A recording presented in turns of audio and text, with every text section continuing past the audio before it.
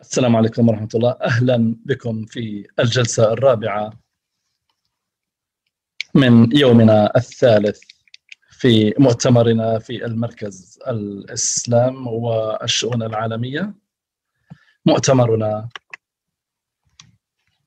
حول أن ينسق ما بين فترات أماكن زمنية مختلفة وضيوف مختلفين ومشاهدين على الفيسبوك. مرة أخرى أهلا بكم في هذه الجلسة الأخيرة لهذا اليوم.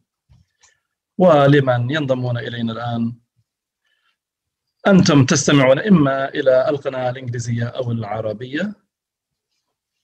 آه، تختارون اللغة التي آه، ترغبون وتحصلون على اللغة آه، الرابط للغة العربية أو الإنجليزية أو التركية من من موقعنا.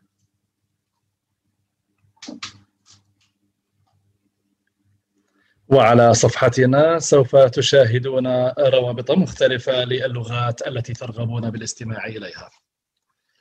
سأبدأ بتقديم متحدثينا لهذا اليوم. ثم نسلم الميكروفون لأول متحدث. ضيفنا الأول لهذا اليوم هو لهذه الجلسة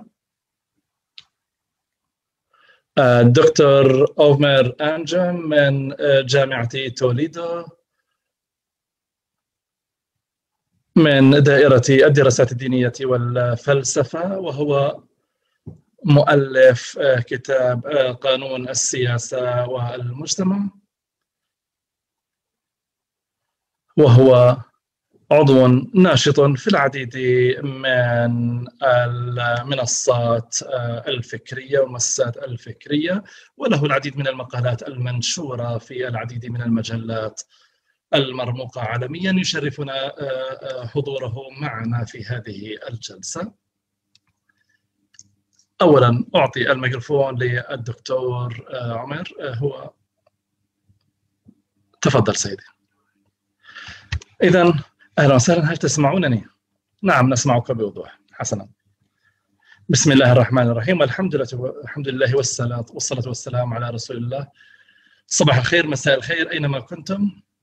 إنه للشرف أن أتحدث آه، في هذا المؤتمر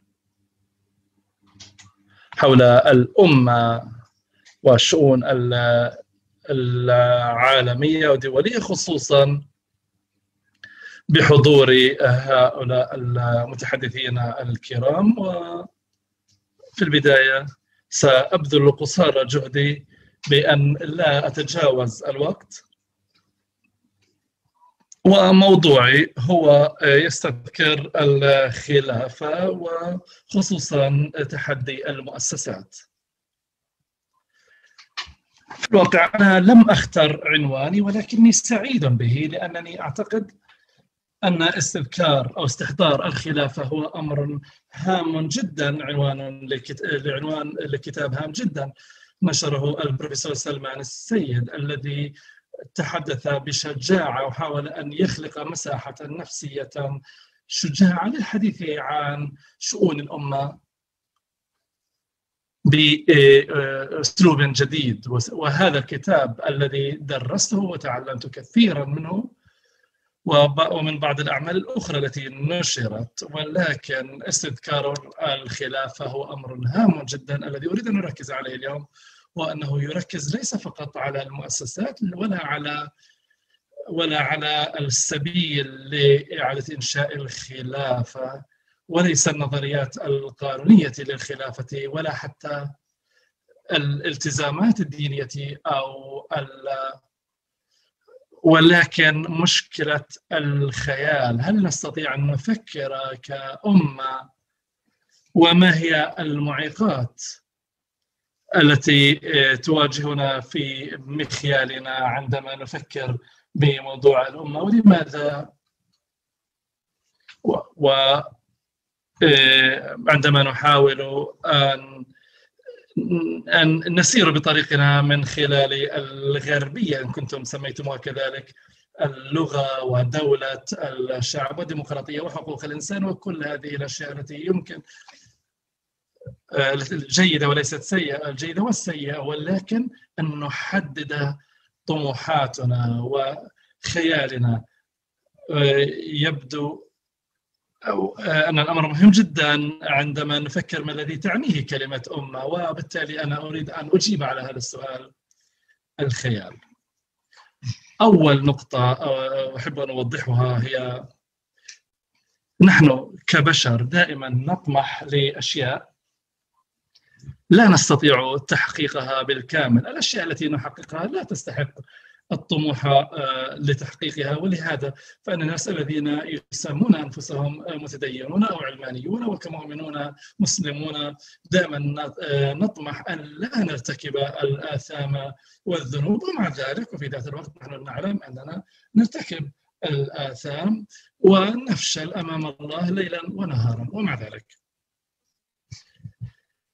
إن بإمكانك أن تتخيل آه، شخصية آه، في القرن التاسع عشر. أنه قد تكون فكرة غبية جدا أن تقضي ليلك ونهارك تفكر بتحقيق لتحقيق هدف وفي ذات الوقت أنت متأكد جدا أنه أنك لن تحققه ولن تعيش دون ارتكاب الآثام والذنوب. إذا لماذا لا تجد محورا مختلفا لذلك؟ وهذا ولدرجة ما لهذا السبب هنالك الحركة الأساسية للحداثة في مجال المخيال الحديث. إذا دعونا نصل إلى الأمور إلى الحقائق لتحقيق هذه الأشياء بشكل حي. فإما أن ننكر أو على الأقل على الأقل أن نضع جانبا هذه القضايا للنقاشات المجتمعية آه، لأغراض عملية لنناقش الأشياء التي أبعد من آه، قدرتنا على التحقيق. ومع ذلك لم يحدث ذلك وليس ليس فقط أن لي أنه ليس لدينا أمل لتحقيق ذلك آه، في طموحنا للأشياء المثالية ولكن نحن آه، لا نريد أن أو كلما بدا العالم آه، أكثر آه، فراغا من القدس أو أو من القدسية كلما رغب الناس أن يعبدوا أي شيء يتحرك. وأنا أشير هنا طبعا إلى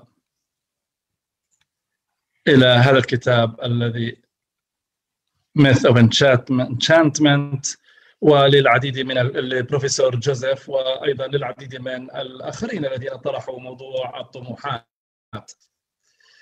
اي طموحاتنا ليست مستحيلة ولكن طموحاتنا لا تتحقق دوما بكاملها وبالتالي هذه قضية الديمقراطيه وهذه قضية الدستورية والتحررية. أن أفضل نظريات الديمقراطية مثلا يطرحون أن الديمقراطية هي دائما هاربة دائما تركض هي لحظة نقتنصها في حياة أمة أو حياة الشعب. هنالك لحظات آه، تتحقق وتختفي تلك اللحظة سواء في الانتخابات أو غيرها عندما آه، آه، يتم السيطرة عليها من قوى معينة. ومع ذلك نحن لا نتوقف عن البحث عن الديمقراطية وتسمية أنفسنا ديمقراطية ونتخيل نظاما ديمقراطيا آخر. ولا نتوقف عن الطموح لذلك. وعندما تتحقق الديمقراطية آه، تعطينا بيضا فاسدا. وبالتالي دائما نأمل أن تأتي لحظة أخرى من الديمقراطية لتكون شكلا أفضل لتدرك أن الديمقراطية لن تحل آه، مشاكل آه، مثلا قضايا التغير المناخي التي يطمح غالبية الناس الذين يعرفون أنهم لن يعيشوا آه، أو لن يخططوا للخمسين سنة القادمة. وهذه هي مشكلة الكوكب الذي نعيش فيه الذي يقاس ب القرون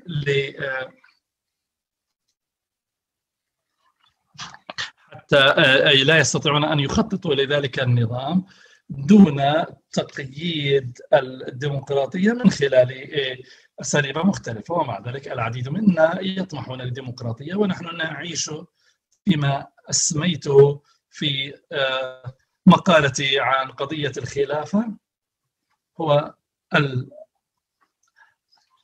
العلاقة آه، التي لا تتحقق. نحن في منحنى قريب جدا ولكننا لا نلتقي دائما.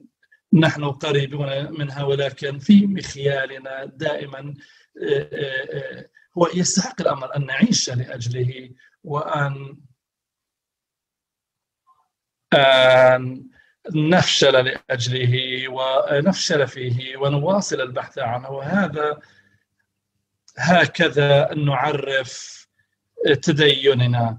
وبالتالي الناس الذين يرون الديمقراطية كأداة هم في الواقع ليسوا ملتزمين بالديمقراطية. هم إن الديمقراطيون الحقيقيون يعرفون أنهم سيفشلون ولكن يعرفون أنهم سيلتزمون بطموحهم وبحلمهم للديمقراطية. لهذا السبب أنا أزعم أن آه، آه، هذا ينطبق على جميع أفكارنا ومثلنا.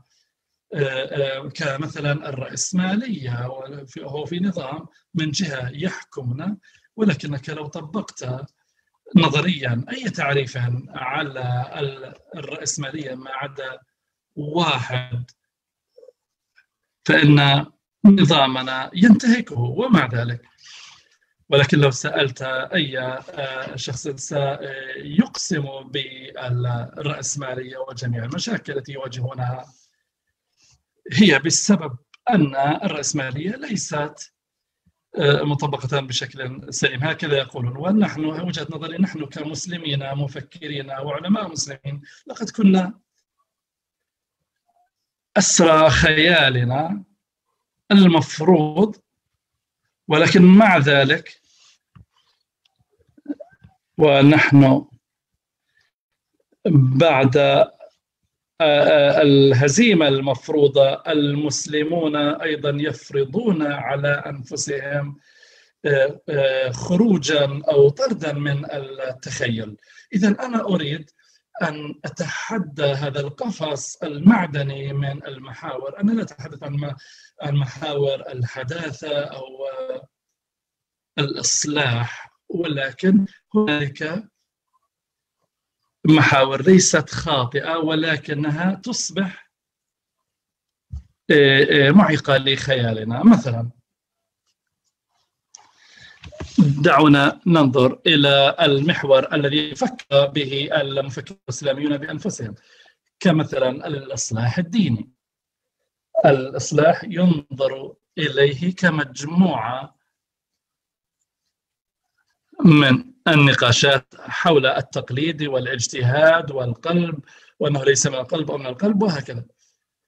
وأيضا نحن يمكن أن نعود لنجيب على السؤال ونقول أن التقليد كان رائعا وبالتالي ينقلب المحور بشكل عكسي وبالتالي نعود لنتخيل ذلك تلك الأعراف الرومانسية ونحن ننظر إلى جميع مشاكلنا. هنالك مؤخرا هنالك محور شائع جدا وهو محور الأمن. بعد أحداث 11 سبتمبر أصبح هذا محور دائم في آه، آه، لدى المفكرين. تخيلوا أن هذا نقاش وكيف أن العديد من المسلمين والمفكرين المسلمين وكذلك آه، آه، النخب الإسلامية يقدمون أنفسهم للعالم نحن أفضل من النظم التي تقدمونها آه، آه، ولا نروج للإرهاب وغير ذلك. أنا أريد أن أو لا أريد أن أنفي أهمية هذه المحاور وهذه التجارب التي هي مهم أن نتعلم منها ولكن ولكن للعديد من الأسباب هذه المحاور تحديدا آه، محور دولة الشعب.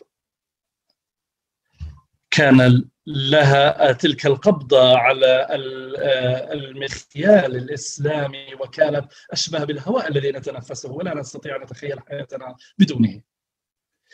وحتى أن إمكانية أن اليوم ونحن في هذا المؤتمر نتحدث عن هذا الموضوع. والمشكلة التي نناقشها هي النتيجة تقريبا تقريبا لثلاث عقود من العولمة التي آه، هناك تجارب للعديد من المفكرين الإسلاميين فيها حيث أن معظم الناس في آه، آه، هذه الجلسة لديهم تجربة بشكل أو بآخر بموضوع العولمه بشكل مختلف وبالتالي لم يعد بامكانهم أن يحصلوا على حماية دولة الشعب التي تمنحها أو ربما يشعرون بقدراتهم للحديث في هذه المشكلة ولكنهم استفادوا من تلك العولمة بشكل أو بآخر. أنا لا أقصد أن أقول أن ما أقوم به أو ما نقوم به هو هنا هو أمر جديد في الواقع نحن في مرحلة أخيرة من العولمة ونحن نفكر لماذا هي لماذا أخذنا أشياء كدولة الأمة أو دولة الشعب كشيء مضمون. وبقولنا ذلك لدينا وكالة يصعب أن نراها أو أن نكتشفها ولكن أعتقد أنه لدينا وهذا أمر اؤمن به وليس شيء بإمكانك أن تبرزه بشكل ملموس. وبسبب ذلك الإيمان والاعتقاد أنا أعتقد أن ما نقوله آه، آه، وما نفعله يهم في الواقع ونحن ننظر إلى الشروط ونحن نقوم بتفكير أفضل مما كنا نقوم به سابقا وندخل في نشاطات آه، جمعية أفضل. وبالتالي الخلافة بالنسبة لي هي اسم ذلك الخيال. هي ليست آه، تلك المؤسسة من العصور الوسطى التي فيها رجل آه، قوي. ولكن كما كنت أناقش هذا الموضوع في مقالي وأنا أعمل في مع العلماء المسلمين ونحن نفكر بما الذي يمكن أن تكون عليه الخلافة في المستقبل. ولكن ولكن حتى لو كانت مؤسسة آه، سياسية في يوم ما يجب أن تكون ضمن الخيال و وكما آه، آه، هو النقاش في موضوع الخلافة كان في الواقع في الكتب هذا الموضوع. سواء كان كتابا تطور و وملأ خيالنا. وأنا أناقش في كتابي أن ذلك ربما هذا الحوار لم آه، يغني ذلك النقاش أو الخيال الإسلامي ومع ذلك. ولكن هذا الخيال قد تضاعف خصوصا في العقدين الماضيين في موضوع دولة الأمة بعد الحرب العالمية الثانية والعولمة حيث أن المسلمين كانوا يخافون حتى من التفكير في ذلك. وأنا أعتقد أنه حتى بعد أن يكون أن تنشأ مثل تلك المؤسسة يجب أن يكون هنالك مكان في خيالنا الجمعي كمسلمين لننتقد تلك المؤسسة لتصبح أفضل لأنه دائما. يمكن أن نكون آه، ناقدين للفكرة ومع ذلك. فان حتى ان تلك المؤسسات فان المفكرين الذين فكروا بالخلافة كمؤسسة قانونية. أعتقد أنهم قد قاموا بعمل مهم إلا أنهم فوتوا جزءا هاما من الخيال وهو خيال تخيل الخلافة من خلال آه، تخيل مسلم. وهذا الخيال موجود ومتجذر متجذر حتى في القرآن بحد ذاته. وبالتالي فإن تخيل الأمة التي لها وجود عالمي وفي الوجود البشري ولها تواجدا أبدي لمصلحة المجتمعات لأنها تحمل العقيدة والممارسات العقيدة في باتجاه الله تعالى وبالتالي لهم نظرة على العالم الخارجي. هذا يعني أن علينا باستمرار أن ندخل في تقييم إذا كانت المؤسسات التي آه، نصنعها في أي وقت من الأوقات إذا كانت تلتزم بتلك الفكرة أي مجتمع لطموحاتنا وافكارنا آه، آه، ومثلنا. نحن نطمح أن نكون مثل محمد عليه الصلاة والسلام ولا ونحن نعلم أننا لن نستطيع أن نحقق ذلك بشكل كامل. أعتقد أن علينا أن أن نستنتج بشكل آمن أن تفصيل ذلك الخيال وجعله يستحق ونستحضر آه، آه، تطبيقات ذلك وآثار ذلك على مراحل مختلفة في تطور الخلافة كمؤسسة. عندما آه، حتى نرى أن ذلك ربما ليس الطريقة التي نريد بها عندها سننتقدها وبالتالي أنا لا أطلب شيء ولا أقترح شيء يخص أمر كان موجودا ولكن استمرار لأفضل الأعمال التي تمت من قبل علمائنا في الماضي ولنعود لننخرط فيها. يمكن أن نفكر بالمؤسسة والمأسسة والديمقراطية وحتى ربما نستسلم للانجذاب لدول الشعب أو الامه في الوقت الحاضر. ولكنني أنا مقتنع كمؤرخ وكمفكر سياسي اننا أننا هذه أن هذه السعادة قصيرة الأمد تستحق أن نعيشها كمسلمين وعلينا أن نقلق تجاه حقيقة أن الأمة لا يمكن أن تقيد. وبالتالي أنا أعتقد أن مهمه إنشاء الخلافه في الخيال فإن هذا الحوار ليس مرتبطا.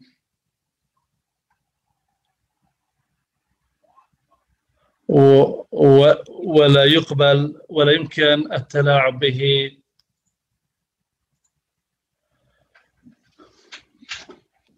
من قبل مؤسسات آه، ولكن آه، بإمكاننا أن نعيش بشكل قريب من هذا الحوار الإسلامي والعقيدة الإسلامية والقانون الإسلامي. فقط كما كان آه، آه، كان المسلمون يلتزمون بأوامر الإسلام الطهارة والزكاة وأعمدة الإسلام. وحول ما الذي يعنيه أن تكون جزءا من الأمة وأن تحكم بطريقة عادلة وأن تحكم بطريقة مسؤولة وعادلة. وبالتالي فإن الأمة بنهاية المطاف هي اسم ليس اسما وطنيا بهذا الشكل أو بذلك من أسماء الدولة الشعبية ولكنها أمة المسلمين. دقيقة أو دقيقتين دكتور. أنا أنهيت. هذا كل شيء. شكرا جزيلا. شكرا جزيلا. السيد الجم لدعوتنا لنفكر بتوسيع خيالنا. أنا متحدثنا التالي. المشارك التالي هو البروفيسور أندريو مارش من جامعة ماساتشوستس محاضر العلوم السياسية في جامعة ماساتشوستس. لديه كتابين كتاب إسلام وال والمواطنة المتحررة ويستخدم والكتاب الثاني هو آه، اسمه كاليفورنيا من أو رجال كاليفورنيا وحاليا هو مهتم ب آه، الثورة والديمقراطيه والديمقراطية الإسلامية. شكرا جزيلا. هذه مقدمة كريمة جدا منكم، شكرا جزيلا دكتور سامي لدعوتي للمشاركة، أنا سعيد جدا أن أتحدث ولكن لسوء الحظ ليس مواجهة ولكن ربما في المستقبل آه، بعد أن نأخذ الطعم. وبالتالي سأتحدث اليوم عن كتابي الجديد حول كيان فانومان آه، هذا اسم الكتاب. هذا الكتاب هو عبارة عن دراسة لتطور آه، الفكر الإسلامي الحديث محاولة الالتزام لصياغة السيادة الدينية الحديثة وأن الله قد خلق كلب على الأرض. وبالتالي وبالتالي هي ليست مجرد حركة سطحية لنقول أن الإسلام ليس آه، لا تنطبق عليه الديمقراطية ولكنها أكثر من ثورة فكرية في الفكر الإسلامي. إن هذه الثورة تبتعد عن أساليب السياسة باعتبارها حارس التمثيل للقواعد وتطبيقها معا ليكون هنالك ديمقراطية من حيث يكون فيها شعب وحكومة يحكمون أنفسهم بطريقة عادلة ويمثلون الله فيها.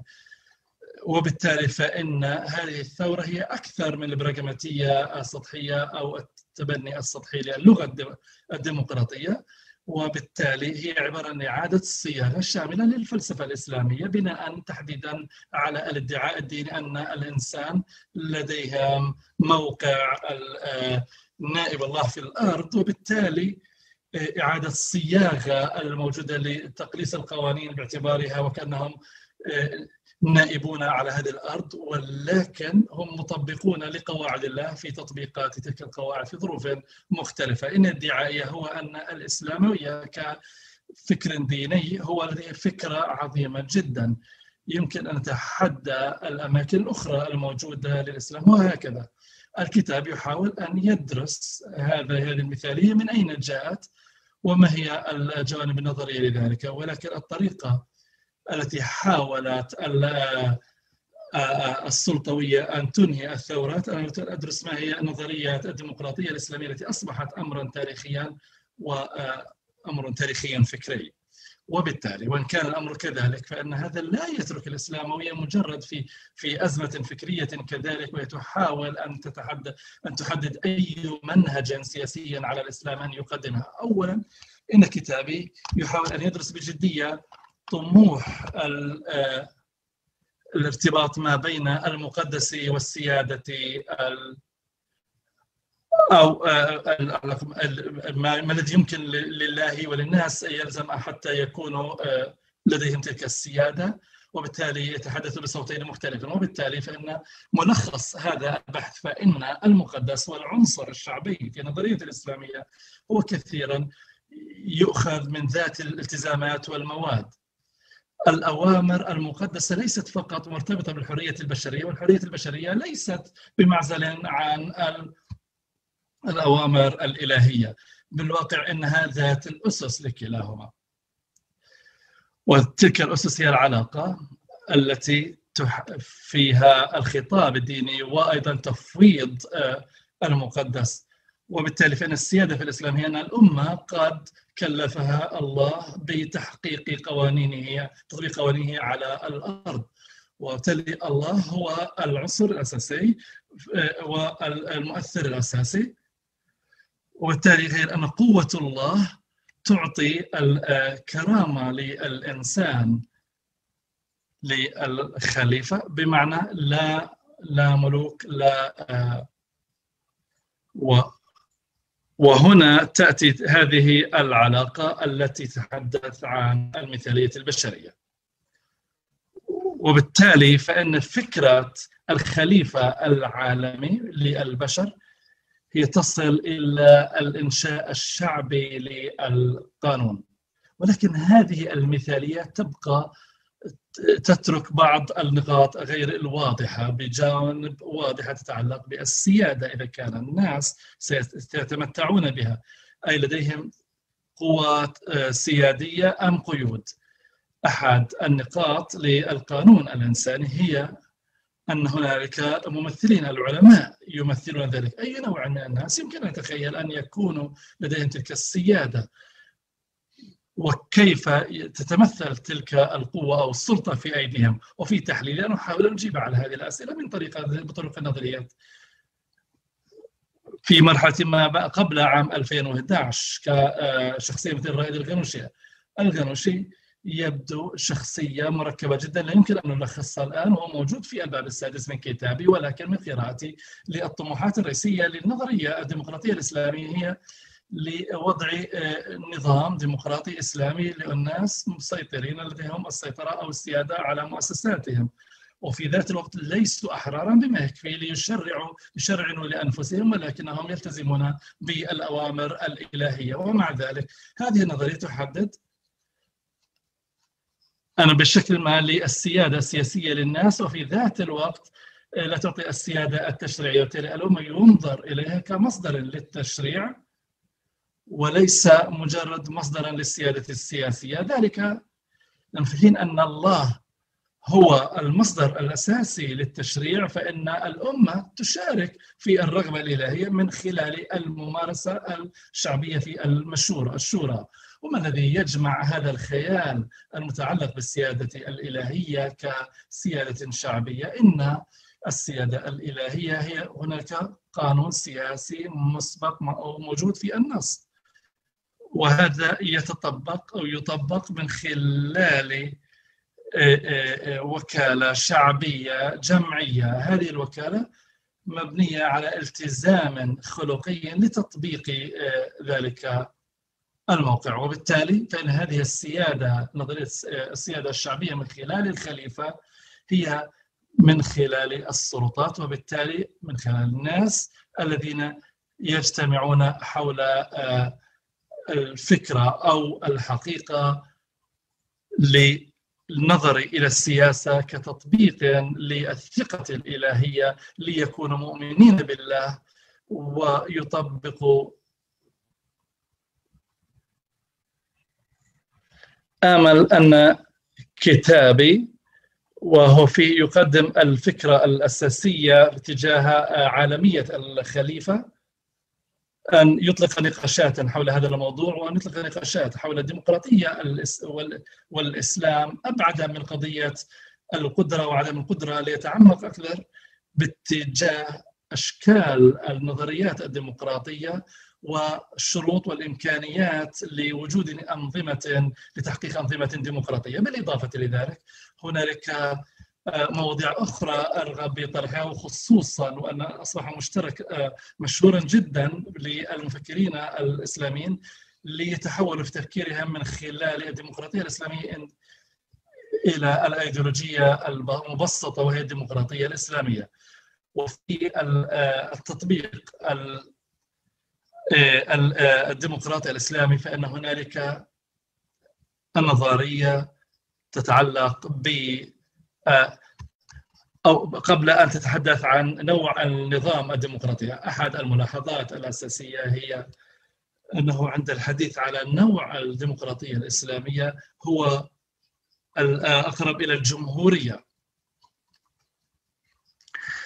توجه الجمهورية في هو عبارة عن مطلب للعديد من المواطنين العاديين من خلال المشاركة وغير ذلك وبالتالي هو بالأساس المصدر الحديث لفكرة السيادة التي يمكن أن تعبر من خلال السلطات بما يترك الحكومة تختار آه، آه، تترك الحكومة للممثلين الذين يتم اختيارهم وانتخابهم وبالتالي فإن أماكن العبادة والسياسة تتحدث معظم المسلمين. ولكن أرغب أن أنهي من خلال طرح ما أعتقد أعتقده أكثر عامل أخلاقي يحدد رؤية الديمقراطية الإسلامية ليبقى مثاليا. وأنا أشير إليه في كتابي إلى التعددية الحداثية التي لا يمكن عكسها في الإسلام. وبت... ينعكس ذلك من خلال السياق المؤسسي وبالتالي إحدى الفرضيات ونتحدث عن الوقائع في المجتمع هو أن المجتمعات الإسلامية هي تتواجه بنفس التعدديات التي تواجهها معظم المؤسسات الأخرى أو المجتمعات الأخرى.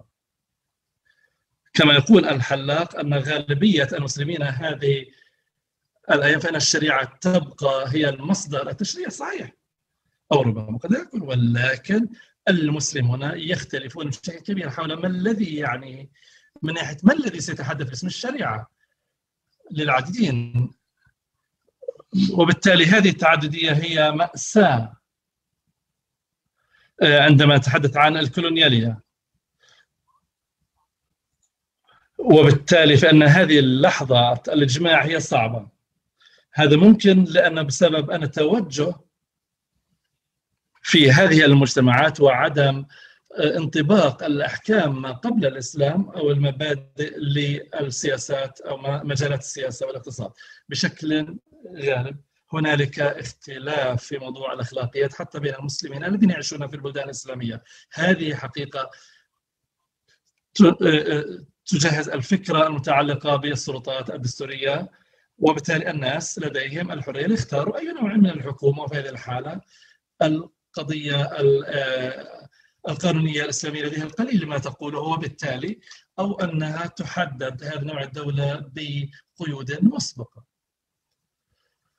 أنا كنت سأقبل أنه هي مشكلة للفكر الإسلامي الحديث تحديدا لأن الطموحات للدخول عمقا في الشرعية.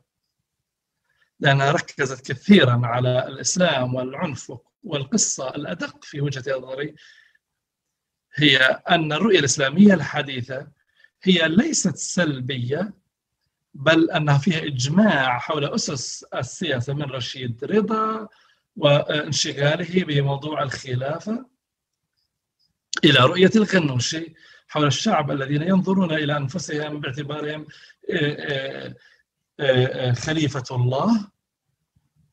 فإن الإسلامية الحديثة تتشارك بالعديد من النقاط الليبرالية تحديدا فيما يخص الحرج من التجليات الحديثة من الديمقراطية. ومع ذلك فإن بعض المجموعات الإسلامية ربما قد بررت العنف إلا أن ذلك انعكاس للبشرية يمكن أن تنظر إليها باعتبار البشر قد ولدوا أحرارا. ذلك الشعور الفطري بالحرية. والأمر المشترك لجميع هذه النظريات هي تتعلق بوجود الأمة والوحدة الأمة أن تكون موجودة.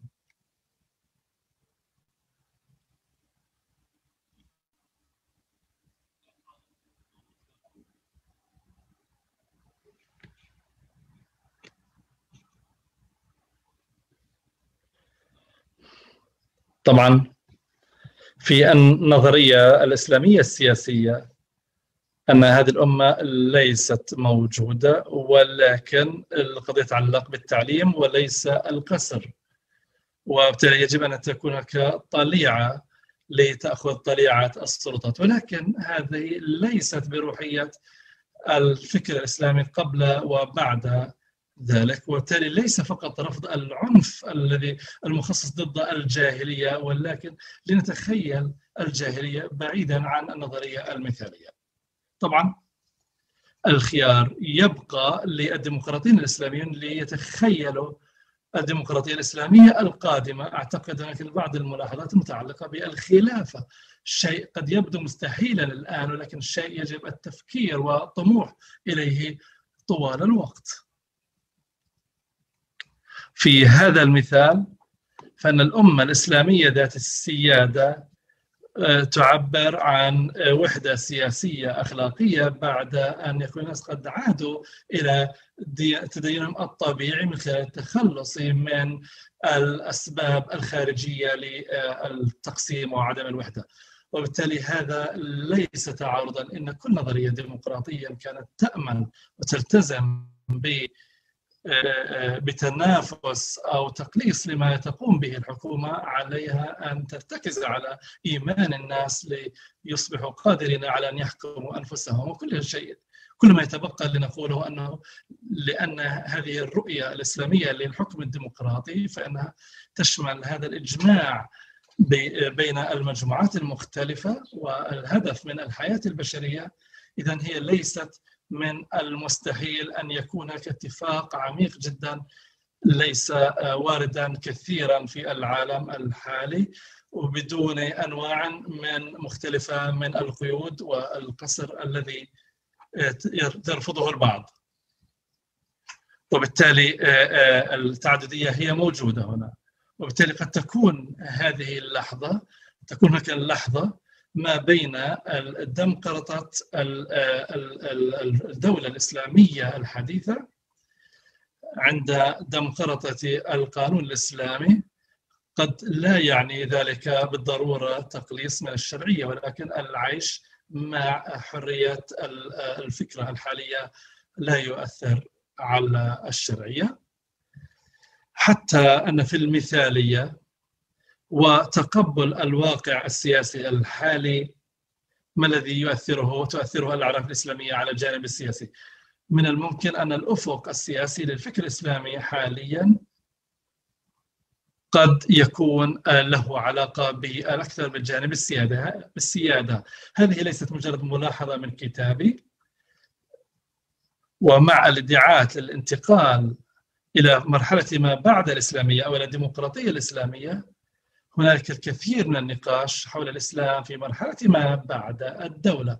وطبعا هذا يتطلب جيلا جديدا من المفكرين وأن يكون هناك أفق للمفكرين الإسلاميين ليكونوا مجهزين لملاحظته ليس فقط لأنهم آه، يعرفون الصعوبة تحقيق مجال أو دولة إسلامية كاملة ولكن لأنهم شهود على مخاطر آه، سلطة الدولة. الغنوشي بحد ذاته بنفسه وهو يلاحظ أن السلطوية في أي دولة حتى في الدولة الإسلامية س آه، آه، التي تمسك بالمجتمع وبالاقتصاد ربما يركز على المجتمع كمجال لتحرير المجتمع من سلطوية الدولة كطريقة للحياة ليس فقط في الجانب الديني ولكن في الجانب العلماني والمادي.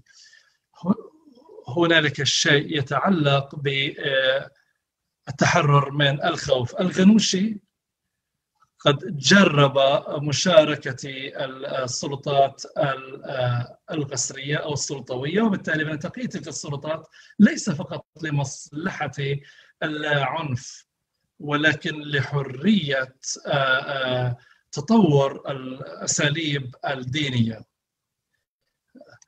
والتي تؤخذ من خلال التجارب السياسية العملية في مواجهة السلطوية. وبالتالي هو أن إن وجود فكر إسلامي سياسي يتغذى على التعددية والحداثة وأيضا يكون انعكاسا للتجارب التاريخية للعمل السياسي. ربما لا يلزم أي نصوص لهذا الفكر السياسي ولكن ربما يحدث دون تخيل السياسة السيادة السياسية. شكرا. شكرا جزيلا لك. شكرا جزيلا لك. ونطرح الأسئلة. و الآن معنا الدكتور رفيق أبو السلام من عن مركز الدراسات الاستراتيجية والدبلوماسية.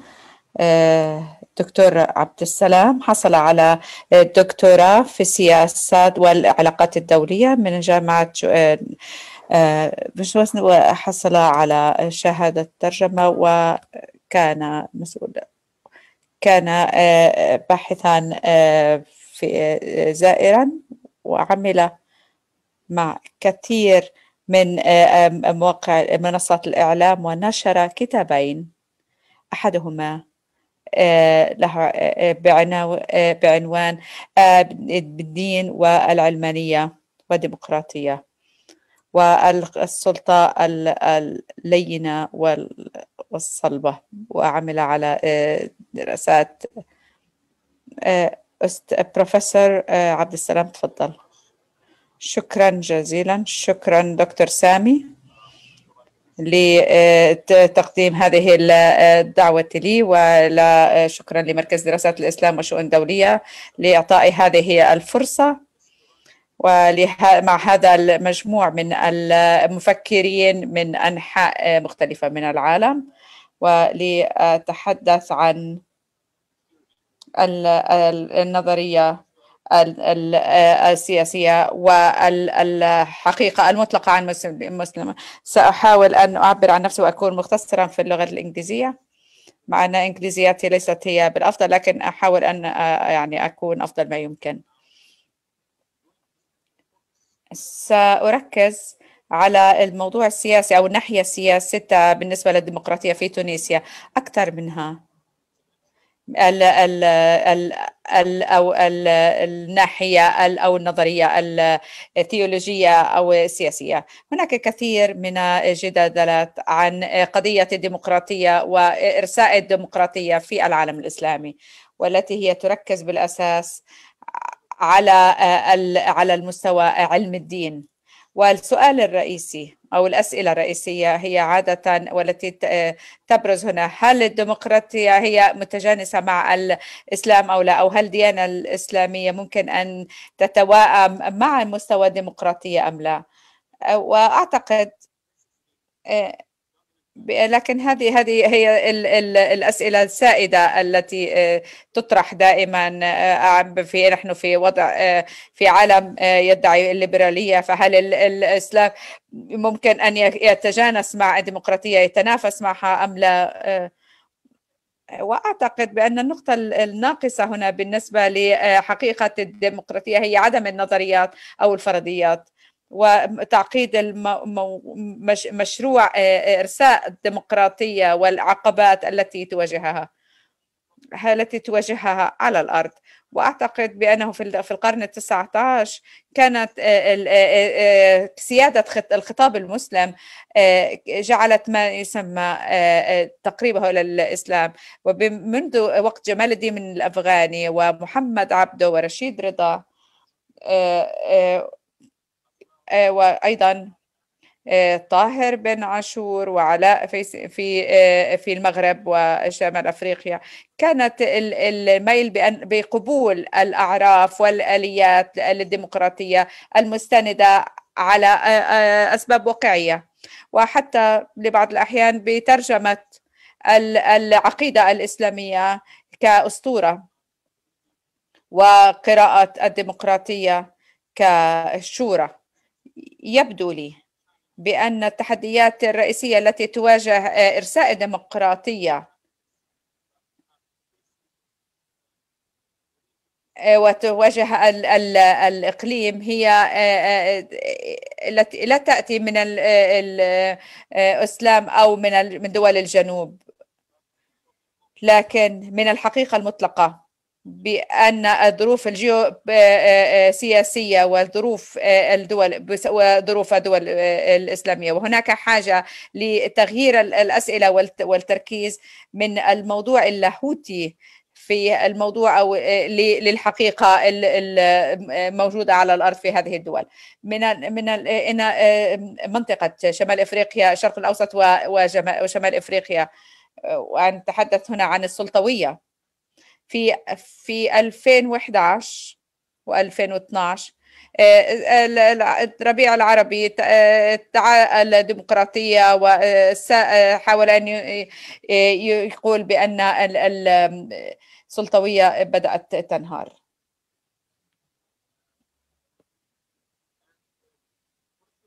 وطبعا عندما نتحدث عنها آه، آه، بأن هناك يعني هذا الطغيان والاستبداد بدأ يزول.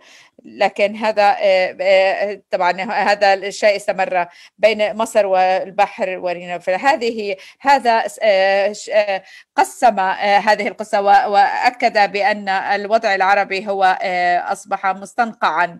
وفي 2013 رأينا موجة كبيرة من الثورة ضد هذا الطغيان مثل ما حدث في مصر. الدول الآن لديها تعيش في الحروب الأهلية وفي فوضى مثل في سوريا وليبيا واليمن. والذي صعب هذا الموضوع في تلك الدول هي العوامل والأدوات الداخلية والانقسامات الداخلية والإقليمية. التحديات. للتحول الديمقراطي. هي هي جزء من هذه التحديات التي واجهناها في السابق وما زلنا نواجهها. نحن ك...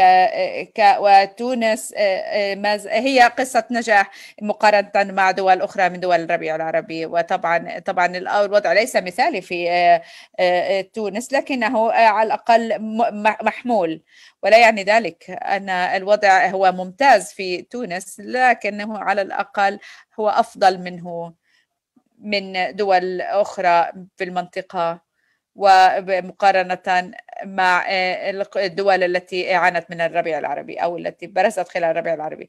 على المستوى السياسي أعتقد هنا في تونس آه، يعني قمنا بتقدم جيد مقارنة بالأوقات السابقة والذي وحسن وطبعا أثر على الظروف الراهنة بأن حسن الوضع السياسي أن يصبح هناك أخذنا بعض الأمور التي أدت إلى الازدهار في 2012 2014 وفي الانتخابات الأخيرة في 2019 وقبل ذلك نجحنا في تنظيم آه، آه، انتخابات غير مسبوقة والتي أرست قواعد الحكم الرشيد والحكم المحلي.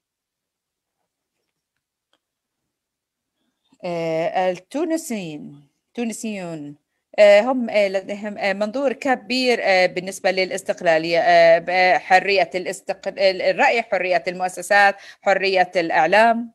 وما الذي والذي جعل آه، آه، تونس آه، يعني متفردة هو أن هناك عدد من الأسباب الرئيسية. هي هي هذه الأمور التي حققتها.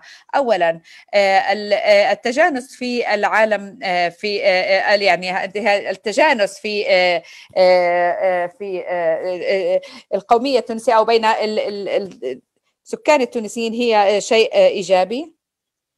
الفرق بين التوانسة يبقى إيديولوجي وسياسي ولا يرقى إلى إلى أي انقسام إثني أو عرقي كما نرى في كثير من الدول العربية أو الإسلامية مثل سوريا والعراق ولبنان. العنصر الآخر أن الجيش التونسي لا يوجد لديها السلطة لأن تتدخل في السياسة. لأن منذ وقت الاستقلال آه، ومنذ وقت آه، الحبيب بورقيبة اللي هو آه، مؤسس المستقلين والبعثيين في العراق وسوريا والنصريين من مصر كان مصمما بأن يبقي الجيش خارج آه، آه، منظور السياسة. وهذا وهذه وأن يكون دولة مدنية أن تكون دولة مدنية تونس. والشيء الآخر أن الحياة السياسية في تونس كانت جاهزة لارساء الديمقراطية لعقود كبيرة. فكان هناك تغييرات وتنقلات وكان اتحادات وأحزاب سياسية.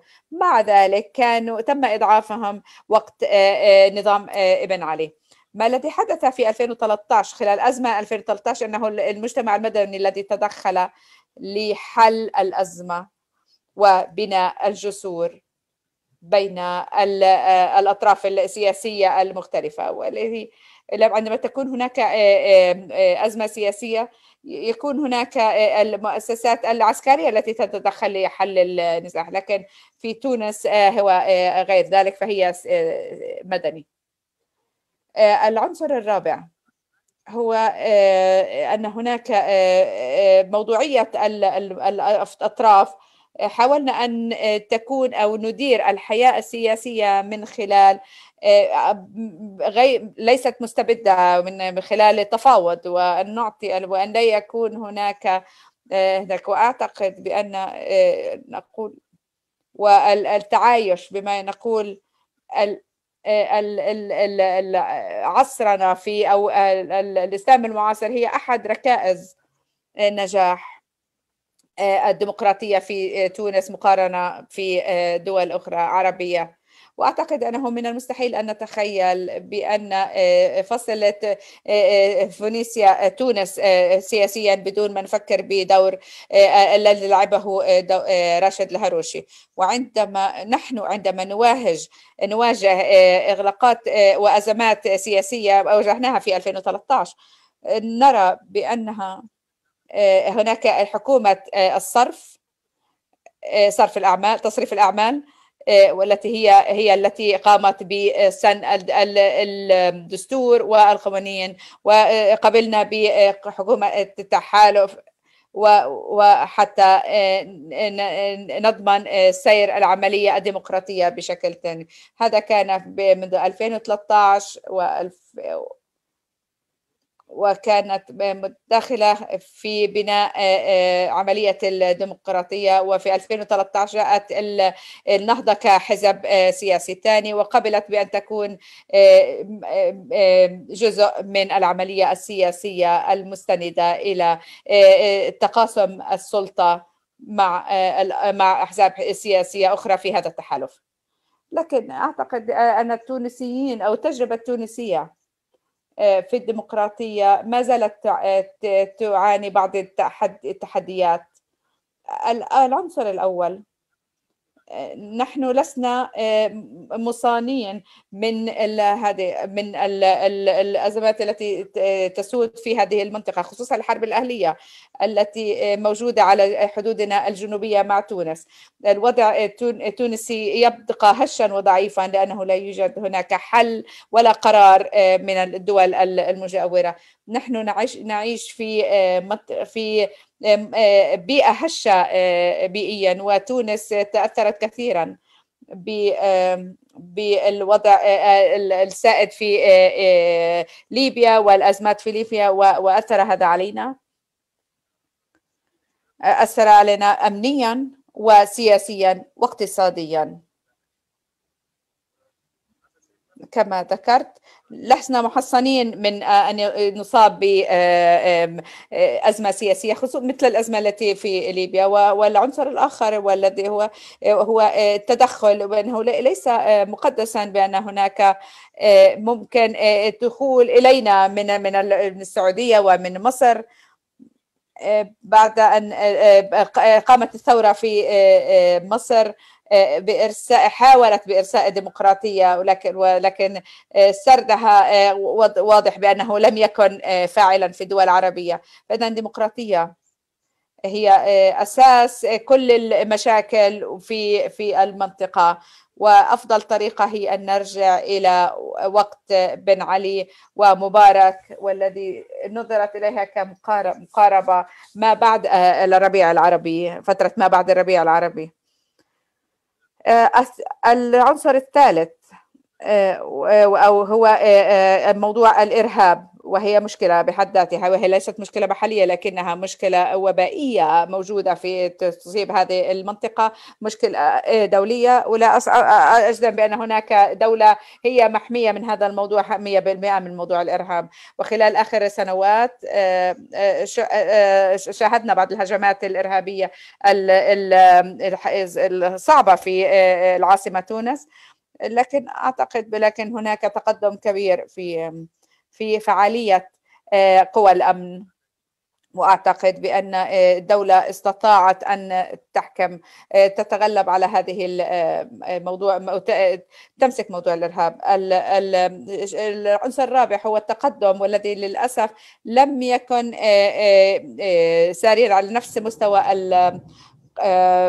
القانوني فهذه هناك يعني حد في القدرة. هناك آه، آه، آه، شيء كبير بين فجوة بين آمال الشعب وبين قدرة الحكومة.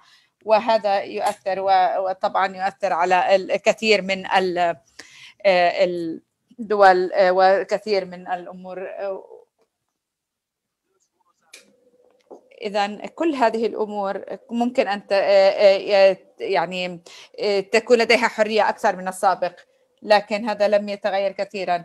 هناك طبعا آه، آه، البطالة زادت والآن مع مع الجائحة زادت إلى حوالي 18% و30% أو أكثر بعد الجائحة من يعني بين بين الخريجين الجدد نسبة البطالة. لم لم يجرى أي تحسين بالنسبة للبنية التحتية. فالديمقراطية آه، تركز فقط على ناحيتين آه، الاقتصاد والسياسي. آه، فإذا نحن عملنا قمنا ب يعني جيدا يعني صار في عندنا تقدم على المنحى السياسي. نجحنا في صياغة الدستور ليكون لدينا انتخابات نزيهة وشفافة وتغيير القوة أيضا دعمت نفسها على الأرض. ولكن أعتقد بأن التونسيين آه، التوانسة يعني آه، آه، يشعرون بالحرية أكثر من بدول أخرى. لكن اقتصاديا التقدم ما زال قليلا وهذا يزيد من الأزمة ومن التوتر في الدولة. وكما ذكرت سابقا هذه تعمل فقط على ركيزتين يعني الحرية ترتكز على الاقتصاد والسياسة. أعتقد بأن تونس تحاول أن تجد التوازن الصحيح بين الحرية والأمن. هو أسهل من الأسهل أن أن نسقط الفساد والاستبداد. لكن لكن رغم بالرغم من كل ذلك وكل التحديات والصعوبات ما زال أمام تونس المجال لأن تعمل أكثر. هذه رحلة طويلة. و آه، آه، آه، يعني تجربة النجاح طويلة. وطبعا ولا توجد هناك حلول سحرية لكل المشاكل. لكن أعتقد بأنه ليس مستحيلا أن يكون هناك استقرار إن لم يكن هناك ديمقراطية. وأنا أعتقد إذا نجحنا في في ذلك سيكون لدينا يعني فرصة كبيرة للنجاح إذا استثمرنا استثمرنا في الديمقراطية. ويمكن أن نمزق كل الأسباب التي لا تمزق العالم العربي. فنحن يجب أن نكون نفهم بأن هذا هدفنا بأن الديمقراطية ممكنة وتحقيقها ممكن ويمكن أن تكون أن تفعل حتى في الدول العربية وفي في المنطقة العالم الإسلامي. شكرا لكم وساتوقف هنا. شكرا. جزيلا. أيضا ليس فقط نظريا لكن من تجربة نحن أنا أؤكد بأن الديمقراطية هي أساس آه، آه، تكون فيها تنوير. وأنا الآن أقدم المتحدث الأخير الدكتور آه، محمد المختار الشنكتي من جامعة قطر في الدوحة. هو معروف بالعربية والإنجليزية. كتب كتابا كبيرا عن آه، الأزمة الدستورية. وكتب كثير من الأمور عن التاريخ الإسلامي. وكتب في اللغة الإنجليزية آه، بحثا عن العلاقات والتاريخ المبكر. أعتقد من أهم الأمور بأنه أيضا هو شاعر. أدعو الدكتور آه، شنقيتي لنستمع إليه. تفضل. In the name of God the Almighty uh, uh,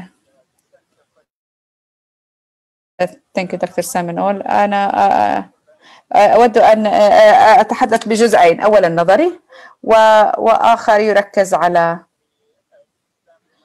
الدستورية الإسلامية من النظرة المقاربة على المستوى النظري عندي بعض الملاحظات أولا أن أساس ما نسميه الدستورية المسلمة. Yeah, we can hear you.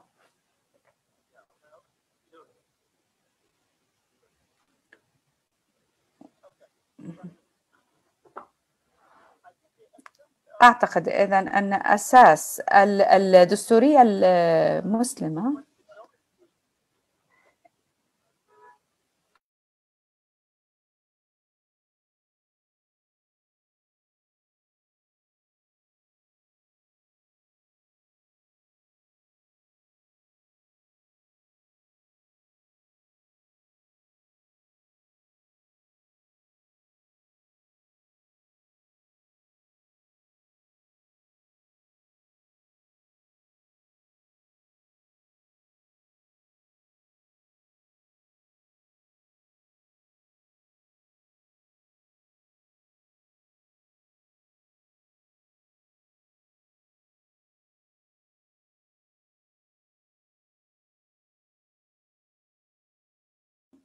Very well.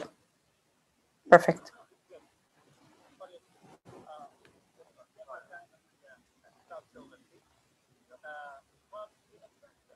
إذا أساس الدستورية المسلمة كما أفهمها أنا هي البحث عن إمكانيات للديمقراطية بدون علمانية وهذه آه، هي آه، مناظرات صعبة في في الدول المسلمة الآن وأيضا حتى بين الأكاديميين في كل مكان. وأعتقد أنا آه، أجادل هنا الحوار هنا بأن هناك إمكانية. ليست فقط هناك إمكانية لكن أعتقد بأنها هي الطريقة الوحيدة في بأن الأغلبية المسلمة تقبلها. لكن حتى آه، آه، نأتي إلى نوع من آه، مساومة تاريخية وفهم لهذا الموضوع. هناك حاجة لبعض التغيير في النهج التي تستخدم لدراسة هذه الموضوع الدستورية. عادة ينظر إليها ك كقضية آه، قانونية سياسية لكن أنا أعتقد بأننا نحتاج إلى أكثر من ذلك. حتى آه، نضع هذه المناظرات عن الدستورية الإسلامية في سياقها الصحيح. أعتقد أولا أننا بحاجة إلى استخدام آه، نهج الفلسفة فلسفة الدين. وهذا شيء أحبه أنا أحببته كطالب في التاريخ والدين. لا يجب أن نتعامل مع كل الديانات بنفس الطريقة. كما آه، نونزك عندما نتحدث عن الدولة القليلة هناك الأقل والأقصى والأكثر. ومن وجهة نظر آه، فلسفة الدين كل ديانة لديها يجب أن تكون لديها على الأقل عنصر أو المكون لتسمى أو تدعى ديانة. أن يكون هناك آه، عبادة عبادة وقصة عن أصلها ومعنى الحياة وكيف ينظر إلى البشر. إذا هذه على الأقل المكونات القليلة البدائية للدين. آه، يعني أو إذا المتطلبات المبدئية للديانات لأي ديانات؟ بعض بعض الديانات لديها مكونات أكثر من أخرى مثل مثلا أنظمة آه، أخلاقية ولكن بعض الديانات فيها أكثر وأكثر من ذلك. الطريقة التي ينظر فيها الباحثون ينظرون فيها إلى هذه القضايا عندما يتحدثون عن الديانة والبشرية البشرية لديها نوع واحد من الديانة نوع واحد من الديانة وأعتقد هذا خاطئ. علينا أن نفرق بين الديانة المستندة على آه، آه، على فهمهم على الطريقة التي يفسرها الفلاسفة. من ومن هذه وجهه النظر ومن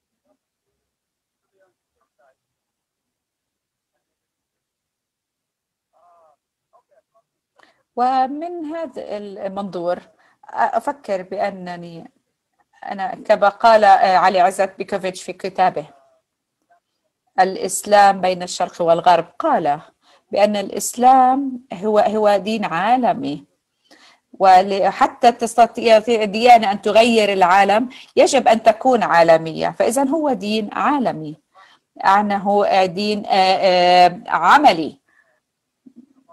هي ليس فقط عن المثالية لكن أيضا عن العملية أن أن يكون عمليا آه، أخلاقيا عمليا.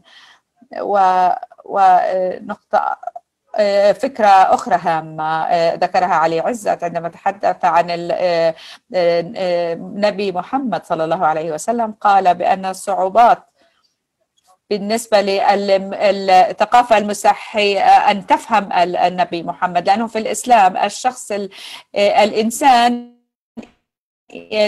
المثال يبقى إنسان مثالي لكنها يبقى بشرا ولا لن يكن هذا ليس هذا سهلا إذا أنت تأتي من آه، خلفية فيها المبعوث وإله. فإذا يجب أن نفرق من الديانة المستندة على هذه الأمور المبدئية في الرؤية يعني الطريقة التي مثلا نتحدث عن أولى ويمكن يصبح لدينا وضوح أكثر عن هذه الأهمية أو أو أن نضعها في بشكل أفضل عن أهمية الأهمية للمسلمين بأن يكون هناك ديمقراطية بدون إسلام. النهج الآخر الذي نحتاج إلى فلسفة اللي هي فلسفة التاريخ وليست فلسفة الدين يجب أن تكون هناك أكثر فلسفة في الدين حتى نفهم العلاقات. بين الإسلام والسياسة وما الذي يحدث في المثالية السياسية في الإسلام. أحاول هنا أن أساهم في في كتابي على موضوع الدستورية المسلمة أو الإسلامية والذي لم يتم ترجمته إلى الإنجليزية لحد الآن. وتحدثت فيها عن الملكية الفارسية والإسلامية والتي هم عاملين رئيسيا لا يسمح لا يسمحا بالقيم السياسية بأن تزدهر. وأنا هنا أستخدم أفكار هيجس عما ترجمناه بالعربي إلى الإمكان التاريخي. فالإسلام التاريخي آه، لم يتم آه، فعلا تبنيه آه، بشكل بسبب هذه الملكية العربية التاريخية. وقد هذا يساعدنا بأن نفهم أكثر المشكلة ومسألة السياسة في الإسلام تاريخيا وأن هذه المشكلة لم تبدأ اليوم بالدول الجديدة المعاصرة. قد ينظر إلى أصدقائي بشكل غريب. أعتقد بأن الدستورية المسلمة يجب أن تأتي من أمور آه، آه، آه، شاملة. وقال أندرو مارش عندما تحدث عن هذا الموضوع دور دور الإله مقارنة بدور الإنسان ف ومثل ما ذكر محمد إقبال وتقل عن prophethood. وقال آه، آه، وقال بأن ذلك آه، هو إعلان بأن البشر والإرادة الجامعة لهم ممكن ممكن أن تقدم الرسالة الإلهية من خلال الإرادة الجمعية. بدلا أن يكون آه، آه، الرسول الذي يحملها. فاذا كان يفسر أنه إذا آه، توقف مرحلة النبوية في الإسلام وأعتقد بأن هذه فكرة ثورية وجديدة جدا في هذا السياق على الأقل عندما نتحدث عن إرساء ديمقراطية في الإسلام. طبعا هناك أيضا تفكير في الموضوع دين وهنا هنا عندما كنت عضوا بلجنة فيها عدة أديان قبل عدة سنوات سألني أحد من الموجودين ما الفرق بين السني والشيعة؟ وقلت الشيعة الكاثوليك والسني هنا والشيعة هم بروتستانت. فضحك هذا صديقي المسيحي وقال لي أنا عم بحكي بصدق يعني شو أنا بحكي بالنسبة للهيكلية. نعم بالنسبة للهيكلية الشيعة هم أقرب للكاثوليك والسنة للبروتستانت. يعني بالثيولوجية في في الماسونيين بكل التركيز على إنه نحن نرى ما نراه في كتابات الجويني وأوزالي وآخرين عن أهمية آه، موقع الباحثين والعلماء المسلمين في النظام السياسي. في الحقيقة لا يوجد دين في هذا أي رجل دين يستطيع أن يدعي ذلك أو يقسم هذا الدور أو يقول بأن الدور الإلهي. فإذا أنا كما وضع وضعها بشكل مرتب وقال بأن عصمة الأمة تغني عن عصمة الأئمة. وهذا يعني بأن الأئمة هم هي ضرورة ولكن ليست هي النهائية فإذا وهذا هي المقاربة. شخص آخر وشيء آخر ممكن أن نتحدث فيه في هذا السياق. علينا أن ننظر إلى هذا الإسلام دستورية الإسلام من مفهوم الآخر فطبعا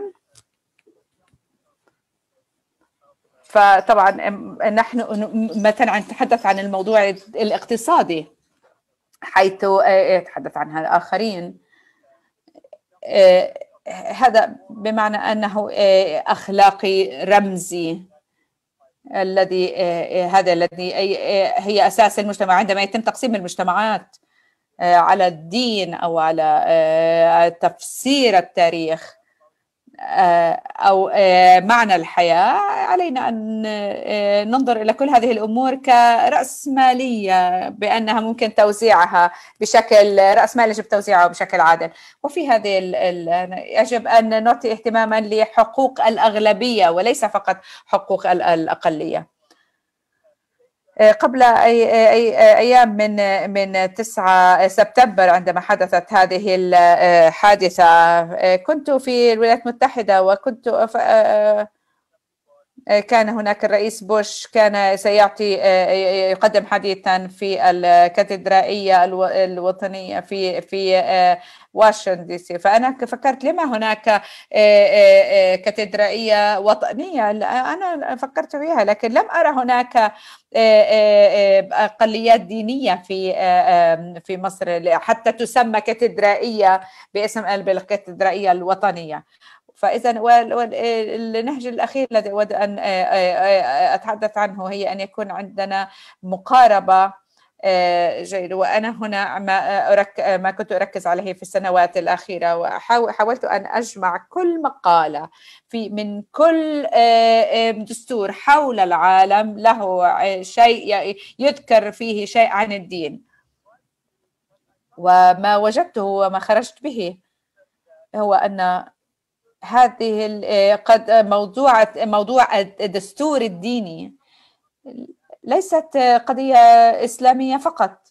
وعلينا نحن أو المسلمين مش لازم ياخذوها شخص شخصي أو أنها فقط هي مرتبطة بالإسلام.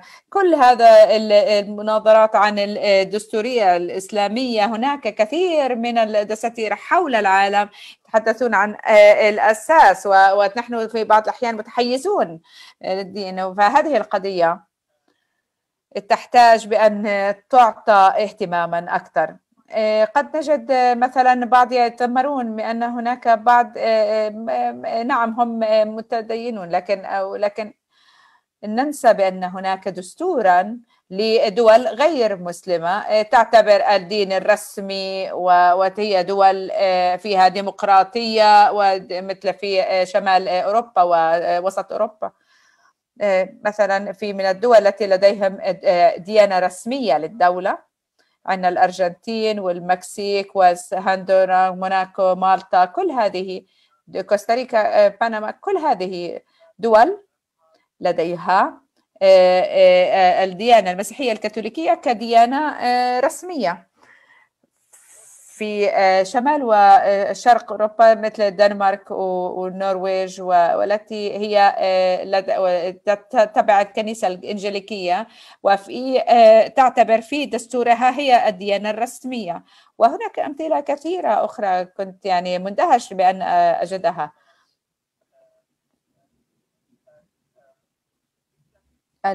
مثلا الأرثوذكس أو المسيحية الأرثوذكسية. التي هي أيضا آه، هي الديانة الرسمية في كثير من الدول بشرق أوروبا في البلقان واليونان وبلغاريا آه، حتى حتى الديانة البوذية هي لديها بعض الدول لديها الديانة البوذية هي ديانة رسمية مثل سريلانكا وكمبوديا وطبعا من نعرف إنه مثلا في إسرائيل بسبب يعني هي دولة اليهودية. وتمنح أي أحد لم يكن يهوديا بأن يكون مرشحا بأن يكون في الكنيسة الإسرائيلي فحتى العرب المسلمين والمسيحيين يجب أن يعترفوا بوجود إسرائيل قبل أن يمنحوا إمكانية أن يكونوا أعضاء ومرشحين في الكنيسة الإسرائيلي أو البرلمان الإسرائيلي. وهكذا. فبعض الناس العرب آه، في بعض الدول يتطلبوا إنه تكون آه، آه، والذي لا أعتقد بأنها هي فكر يعني ليست جيدة لكن اذا هي ليست فقط متعلقة بالدين الإسلامي. الدنمارك والنرويج الملك هو الذي يجب أن يتبع الكنيسة الإنجليكية أو كمبوديا والصين يجب على الملك أن يكون بوذي. وهناك كثير من الأمثلة في هذا الموضوع. إذا القيم المسيحية وكثير من القيم ومصادر هذه الدول يعني هذا شيء شائع جدا في بعض الدول في لاتفيا وكاراكوا وجزر البهاما وكوستاريكا. مثلا عن العدالة الاجتماعية. زامبيا وفي أفريقيا مثلا كمان تدعي بأنها دول أيضا بولندا والنرويج بلغاريا أيضا فاذا ما اذا ما أود أن أصل إليه أن هناك لا داعي لاستثناء المسلمين في أو أن تكون هذه فقط للمسلمين. أعتقد بأنه يعني عادي بأن اي أغلبية أن يكون لها قول في هذا النوع من الأمور وهذا أعتقد جزء منها. آه، آه، وطبعا آه، وطبعا يعني وهذه بعض الآلاف من الناس الذين قد تكون لديهم يعني فإذا هذا هو هذا التحدي الأكبر لأي ديمقراطية لأي نوع من هذا. فإذا في كل ديمقراطية كل. لكن أعتقد بأنه دكتور أندرو مارش آه، وضعها في في آه، آه، قالب أكبر. لأنه السين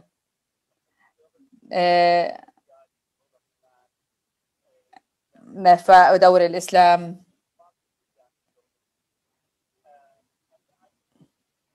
وأعتقد آه، إذا أخذنا هذا النوع من النهج الذي تحدثت عنه آه، يعني إذا آه، فصل الدين أو فلسفة الدين فلسفة التاريخ فلسفة العدالة وأجرينا المقارنة المقارنات بين الدساتير المختلفة. هذا كان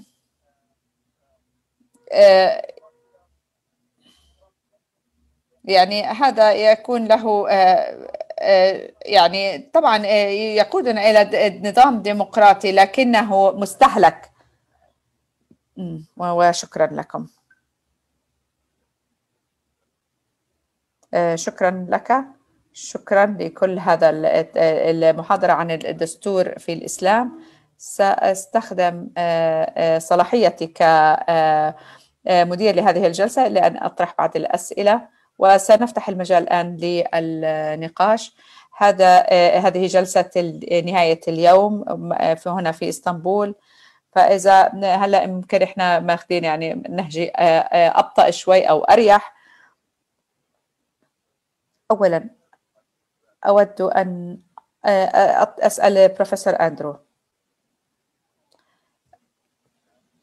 ناديت على المسلمين بأن يتخيلوا أن الخليفة كشيء مثالي.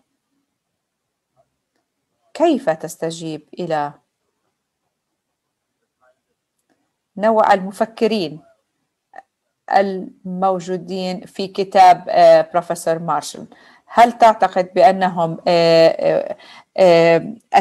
أوفوا بوعودهم بما يجب أن يكون عليه الخليفة في المستقبل أم ما زال عليهم بعض العمل يقوم به؟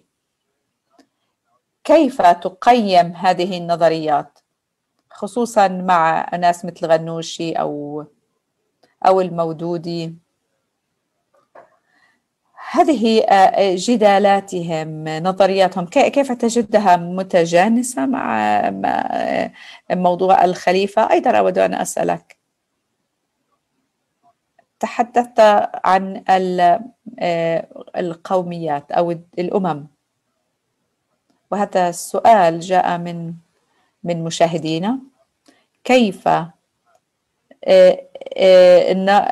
يعني نجيب على سؤال القومية. هل سألت ما هي كيف تكون الدولة في هذا المنظور؟ وثالثا ماذا نفعل بالنسبة للتحكم الأجنبي؟ هل هناك معيقات لخيالنا عن المستقبل أو نظرتنا المستقبلية؟ بروفيسور مارتش. أود أن أسألك.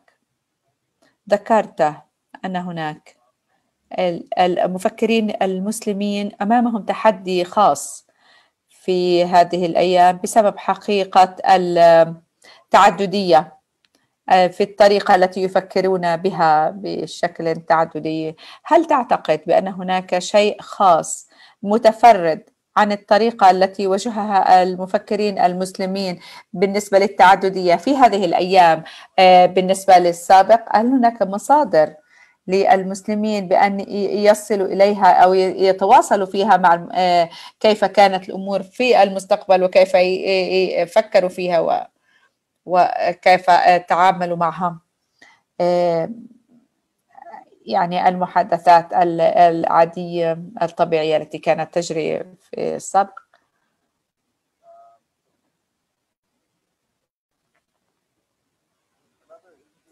قضية أخرى؟ ما هو كيف نحل هذا هذا المسألة سيادة الإله أو وسيادة أو سيادة الله وسيادة الإنسان؟ كيف يستجيب المفكرين الذين تراهم لهذه الملاحظات التي وضعها البروفيسور شنقيطي عن محاولة الوصول إلى بأنك ذكرت بداية مختلفة عن ذكرت 2000 الفترة ما بين 2011 و2000 وبعدها. سؤالي كيف؟ هل هناك سبب رئيسي لما درست هذا الشيء موضوع الدستورية قبل وبعد؟ وهل هذا غير تغير وجهة نظر الدكتور رفيق؟ كنموذج للمسلمين حول العالم.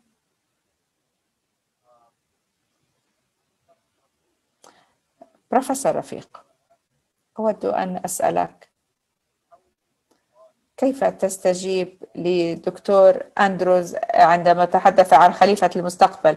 كيف تقيم أداء تونس في هذا الموضوع؟ كيف تقيم التجربة التونسية؟ كيف واستجابتها لموضوع الخليفة؟ هل تؤمن بأن تونس كانت ممكن أن تخرج من هذه القوقعة أو من هذا النهج؟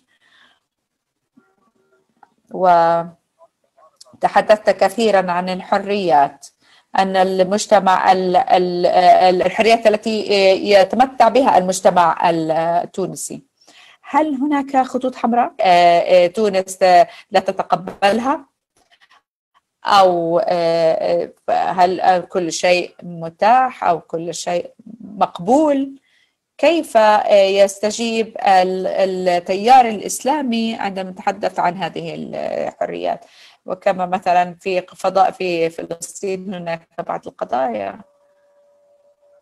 التي هي يعني خط أحمر. وأخيرا بروفيسور الشنقيطي أنا مش متأكد إذا أنت سامعني.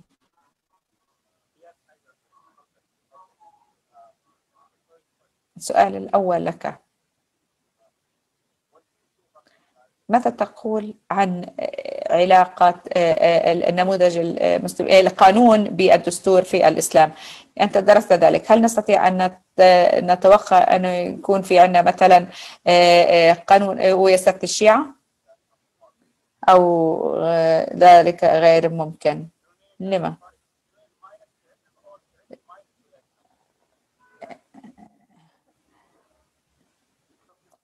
زي ما بدك.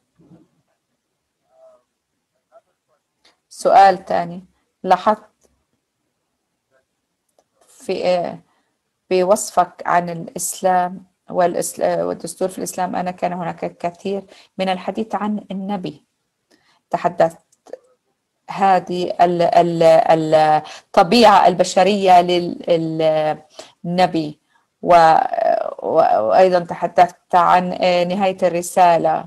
كيف تربط هذا الموضوع؟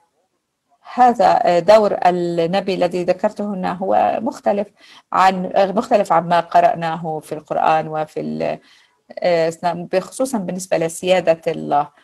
وأود أن أتحدث عن العنصر الثالث عندما تحدثنا عن سيادة البشر مقابل سيادة الإنسان مقابل سيادة الله. هل هناك شيء في له علاقة في هل فكرت في كيف تربط النبي في هذا الموضوع؟ وأخيرا سؤالين آخرين.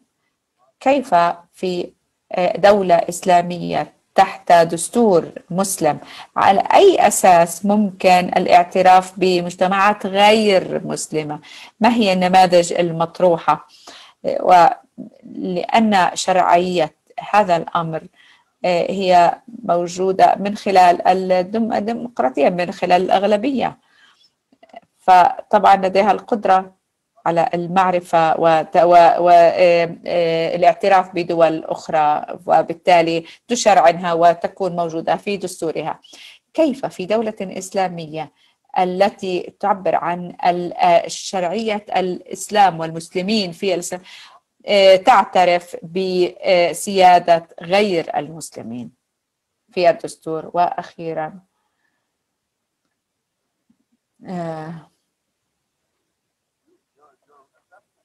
تقييمك للدين والدساتير حول العالم وتعريفك للدين أن الدين هو جزء عادي من خطاب قانوني. كيف إذا تنظر إلى هذه الاستثناءات أو التي ممكن أن تشكل على تهديدا؟ كيف تنظر بأن هؤلاء ال ال يشكل ممكن أن أن يكون النهج الإسلامي في تلك الدول التي لديها في الدستور الأجنبي ممكن أن يشكل تهديدا وأن هل هل هل هذا ممكن أن يكون شيء معروفا؟ فكيف كيف نفكر بذلك؟ آه آه مثلا. آه فكيف نجد كل ذلك؟ هذه كل أسئلتي وأنا في هذه الأسئلة هناك كثير من الأسئلة التي تمت طرحها. سأتوقف الآن وسأعطيكم المجال لدكتور آرم. وأشعر ب يعني تسألوا إذا بدكم كمان مشاركة إحنا بنقدر نفتح مشاركة أكثر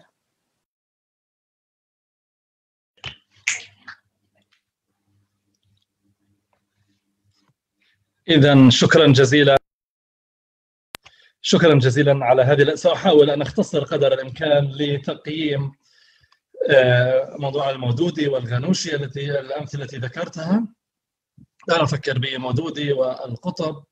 والبنا وغيرهم كأصحاب رؤى يفكرون ب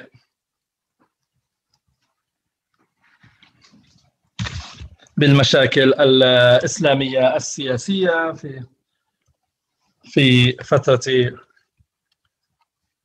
عالميا كانت معروفة ما كان يسمى الفترة التطويرية أو الرأسمالية.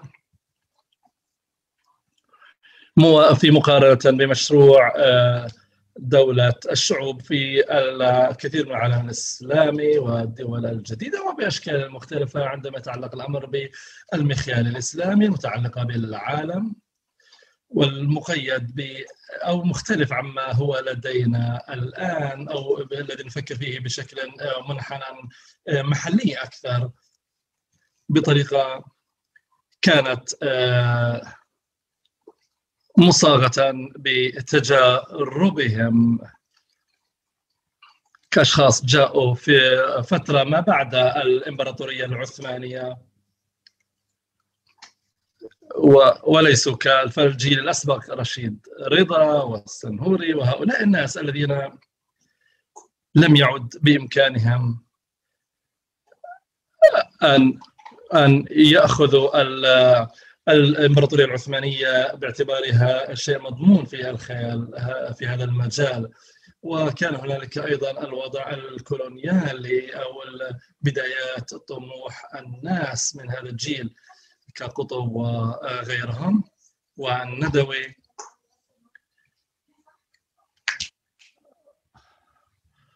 و و وأيضا ذلك الخيال الذي كان مرتبط أكثر بالجانب المحلي والقضايا التكتيكية. الآن أنا أعتقد الآن أن آخر ثلاث أو أربع عقود اللي آه، في موضوع العولمة قد بدأت بإنتاج أشياء مختلفة. لم نعد نتحدث عن اولا لا نستطيع أن نتحدث عن الإسلاميين كما ناقشت هذا مع آه، البروفيسور السابق أو كفئة من الفكر للمسلمين.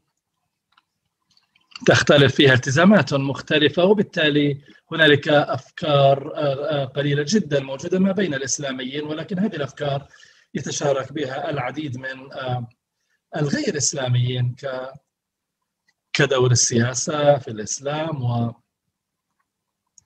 وأيضا فان الإسلام الإسلامية هي الشيء في الواقع خارج تلك الفئة القانونية بالنسبة للمفكرين الغربيين. ولكن بقولنا ذلك عندما نتحدث عن قطب والمودود نحن لا يوجد فصل أساسي ما بين كان يقوله إقبال و وابو الكلام أو رشيد رضا أو السمهوري. بفتر مع بعض الاختلافات أو الاستثناءات الممكنة حول قضية آه، آه، المتعلقة بالبشر. بعضها قد يكون آه، مثيرة ولكن تهديد مثير. ولكن ما كان يقوله هؤلاء الناس حول الخلافة باعتبارها خارج آه، تفكير مدى آه، تخيلهم. إلا أن الغنوشي كان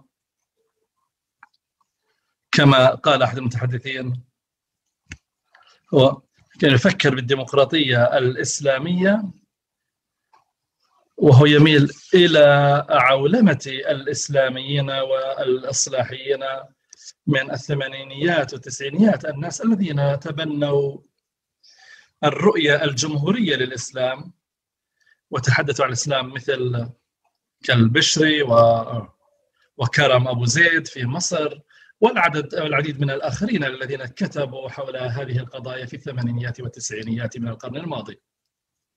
وعندما يأتي الغنوشي بالخيال السياسي للإسلام في العالم العربي فهذا مكان مختلف كالترابي الذي كمدرسية وليس المودودي بالنسبة للغنوشي فإن الديمقراطية الإسلامية ودولة الشعب هي طموح. يفصله أكثر بمصطلحات علمانية ويسقطها على تجاربه الشخصية وكأنه آه، أقرب للغالبية الإسلامية بين الإسلاميين.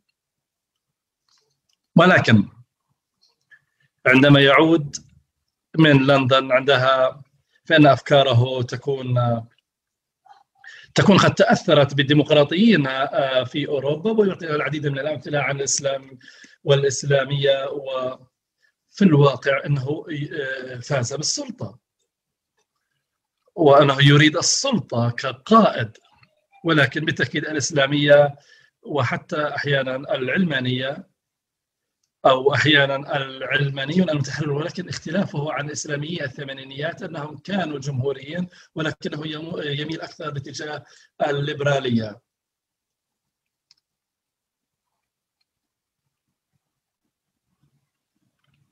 عنوان الدكتور آه، خلافة أو رؤية الخلافة. أعتقد أنا ما أريد أن أسأله هو لماذا لا نسير مع موضوع أو عنوان آه، خلافة الإنسان؟ ما هي المشكلة؟ يبدو أن الناس في كتابه آه، يقومون بعملهم في موضوع الخيال. كل شخص هو شخص سيادي أو مستقل آه، يمكن أن تكون هنالك طموحات الخليفة بهذه الطريقة، هذا ما أحاول ان ما رأيك؟ بالتأكيد ولكنه يبين أن هذه رؤية جديدة وهذا ابداع في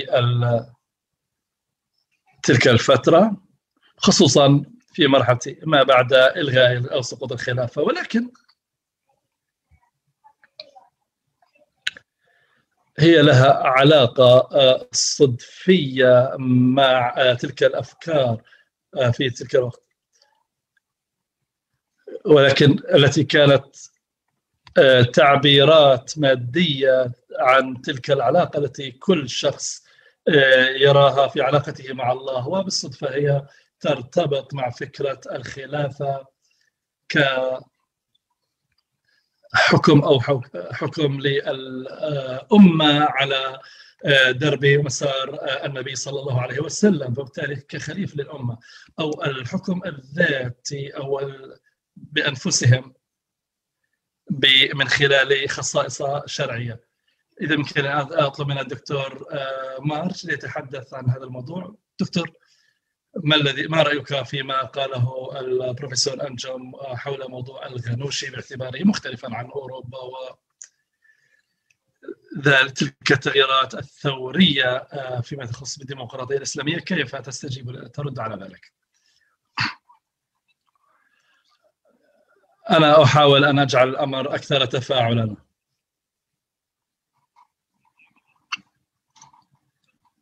إذا أولا دعني أقول في نهاية المطاف أنني أختلف مع عمر آه، آه، في هذه الرؤية لأن هذه رؤية آه، مكثفة.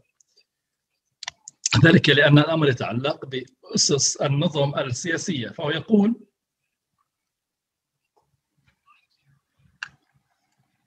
أن المتلقين الأساسيين للخطاب الإلهي هم الأمة. هذه نقطة. وبالالتزام لذلك فإن المتلقين الأساسيين للوكالة لإنشاء السلطة السياسية وللمواقع السياسية واللي يأتوا بأوامر الأوامر الإلهية هي الأمة جمعاء. الآن عمر هو على الصواب أن هنالك هناك مكونات فردية وجمعية في ذلك وهذا يعيدنا إلى ما كان يقوله الدكتور الترابيتي قبل ذلك عندما حول أنواع مختلفة في موضوع الإسلام السني أنه لا توجد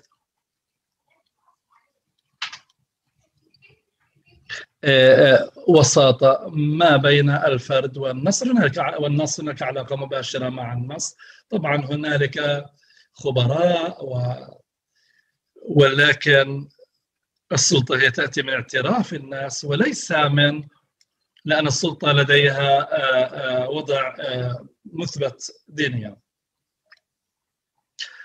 الانتقاد ربما يكون ملائما بشكل ملائم بشكل عكسي وهي أن فكرة العالمية هي أصلا مبدأ سياسي لنا محفزة من قبل أفكار سياسية وهي تأتي من الأفكار السياسية وبالتالي فإن العلم الديني وأيضا العالم الجانب النفسي يصبح أقل.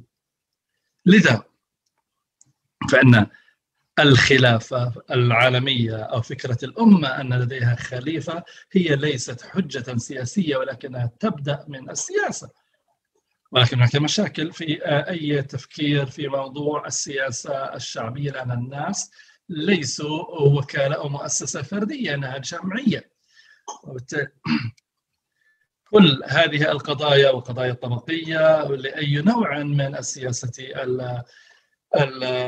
الشعبية أو النظرية السياسية. وأنت تطرح السؤال على صواب يتعلق بسؤالك الثالث بالنسبة لي وهو عن الفروق ما بين الغنوشي ما قبل 2011 والغنوشي ما بعد ذلك التاريخ. أنا أحيلك إلى صديقي رفيقي ولكن أريد أن أكون حذرا وأنا أتحدث حول هذا الموضوع. أنك لو قرأت مقالات الغنوشي منذ الثمانينيات والتسعينيات وأوائل التس... الألفين سترى نفس المواضيع.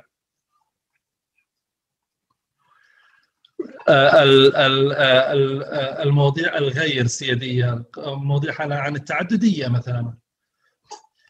أي بدلا من الخلافة العالمية أن فكرة المدينة أو صحيفة المدينة وهي النموذج للسياسة والمقصود بالمدينة هي ليست الدين والدولة ولكن التعددية كمركز للأصول السياسية في الإسلام. هذا مشهور جدا. ليس لدى الغنوشي ولكن للآخرين الكثر. الذين انظر إلى الصحيفة فأن فأن النبي قد عقد صلحا واتفاقيات مع اليهود ومع غيرهم. وبالتالي هذا النموذج للتفكير بالسياسة عندما تكون هنالك التعددية أساسا للحكم الديمقراطي. هذا هو الموضوع الذي كان شائعا ما بعد 2011 ولكن تجد قبل ذلك كذلك. أنا لا أريد أن أقول أن الغنوشي قد كان لديه تلك الآراء السياسية في البداية وفجأة السياسة آه، آه، جعلته يكتشف أنه أصبح آه، حدثيا أكثر ولكن أرغب بالقول أن كلا مجموعتي الأفكار موجودتين وبالتالي لو كنت تنظر إلى خطاب وأنت تتحدث فيها إلى جمهور شعبوي أكثر كيف ستفكر بالديمقراطية وبالتعاون مع بين علي والشيوعيين والعلمانيين؟ ستجد هذه الفكرة ولكن عندما كيف تبدأ لتكتب مقالة حول آه، حرية العبادة في الدولة الإسلامية وبالتالي عندها تصل إلى أفكار أكثر تركيبا وتعقيدا. وتكون لديك حوار أكثر عمقا مع المفكر الأخير أنا أريد أن أكون حذرا جدا وأنا أتحدث عن بالقول أن هنالك انقطاعا راديكالية في الغنوشي ما قبل 2011 وما بعدها. الاختلاف هو أكثر مرتبط بالتطورات شكرا دكتور مارش. سامحني على التغيير بالتأكيد. ولكن أنا سأعود إليك. ولكن قبل أنا أريد أن أسأل الدكتور عبد السلام في النقاش أحد الأشياء التي طلبت منها أن نفكر بها. هي أن الفكر الإسلامي في المستقبل سيكون مستقبليا. بمعنى يبدو لي وكأن عبد السلام وكأنه آه، آه، نموذج لكيف يمكن للفكر الإسلامي أن يكون. والبروفيسور الشنقيطي أصلا بدأ يفكر بالدستور. هذا يبدو واضح بالنسبة لي. ولكن أريد أن أطلب منك باختصار ما الذي قصدته بذلك وسأطلب منه أن يجيب على أسئلتك. شكرا. دعني أجيب على السؤال الذي علاقة في أفكار جانوشي واتباع هذه الأفكار و وسيد غنوشي بالنسبة للسياق التونسي. أتفق تماما مع صديقي أندرو بأنه لا توجد هناك خط بين غنوشي قبل 2011 وبعد 2000 بل هناك خط استكمالي. لكن الأفكار هي مختلفة قد الغنوشي قبل 2011 كان مهتما أكثر في النطاق الثيولوجي أو كيف نتلائم مع الآليات والتي لها علاقة بالقوة في في إطار ساكن. وفي في هذا المنظور. هو ينتقل لهذه الأسطورة التي تسارع بها كيف يطبق هذه الآليات والمبادئ مبادئ الديمقراطية ضمن هذا ال ال الإطار؟ هي يعني آليات التوازي التوازي بين مع الديمقراطية. البرلمان هو موازي لمجلس الشورى وهكذا. فيمكن كان لدى سيد الغنوجي أفكار مبتكرة كثيرة لكن في الحقيقة ننتقل من آفاق الاصلاح وهي الليبرالية كيف نطور الليبرالية مع الإسلام مع مع مبادئ الإسلام. والسؤال الأساسي هو كيف نوجد أو نبني ديمقراطية في موقع غير ديمقراطي أو غير مسلم. مثلا عن الحداثة نتحدث ف فإذا كانت ينظر إلى الحداثة كمشروع إذا كيف نعرفها؟ هل يمكن أن يكون لدينا معاصرة علمانية بدون في مجتمع إسلامي؟ هذه الأمور التي يتم خطوها وهذا الذي نفكر فيه. بعد 2009 11 كان سيد بنوشي مهتم بحداثة الموضوع أو في السياق التونسي. هو كان يهتم على مواقع القوى أو مواثيق القوى وكيف يناقشها وبين المنافسين في في طريقة فيها استقطاب قد قد أصبح واقعيا أكثر مهتما أكثر في السياسة وفي التغير الديمقراطي المستند إلى حقائق صعبة. إذا ما قبل 2011 كان كان مهتما في أفكار سيد غنوشي وأوضاع مثالية. هل تستجيب لدكتور أنفد بالنسبة لموضوع الخليفة؟ أين أين تقف تونس من هذا المنظور؟ أعتقد هي هي حقيقة صلبة موجودة حتى في في الفكر الإسلامي. لكن في ذات الوقت هذه هي سخرية. دولة الدولة القومية موجودة حتى في تطلع على في الدول العربية نقول الدول القومية هي هشة وتتعرض لتدخلات خارجية. هذا يجعلك أن تفكر في تعقيد الموضوع وفي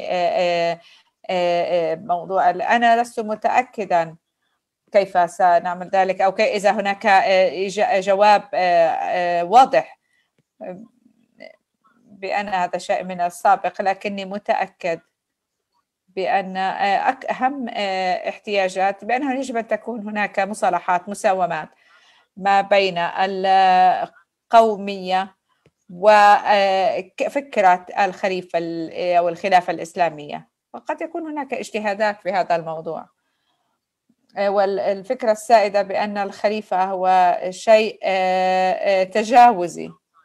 يأتي من الخارج من وأن هناك حاجة لاجتهاد اجتهاد جديد من من المفكرين المسلمين ليصروا على بروز هذا أو خروج هذا الخليفة المسلم ووجوده. فهو وهو شائع جدا بأن نتعارض في ذلك.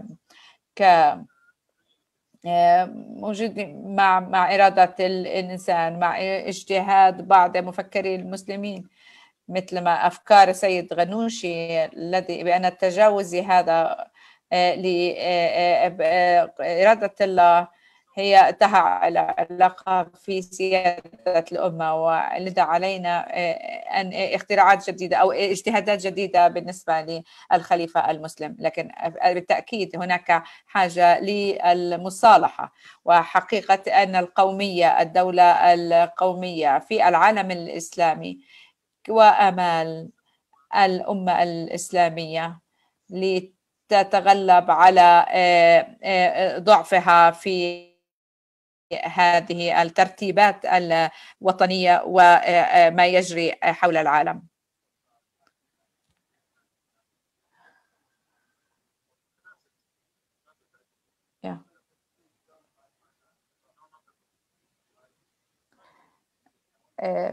بروفيسور الشنقيطي آخر معك خمس دقائق. وبروفيسور عبد السلام.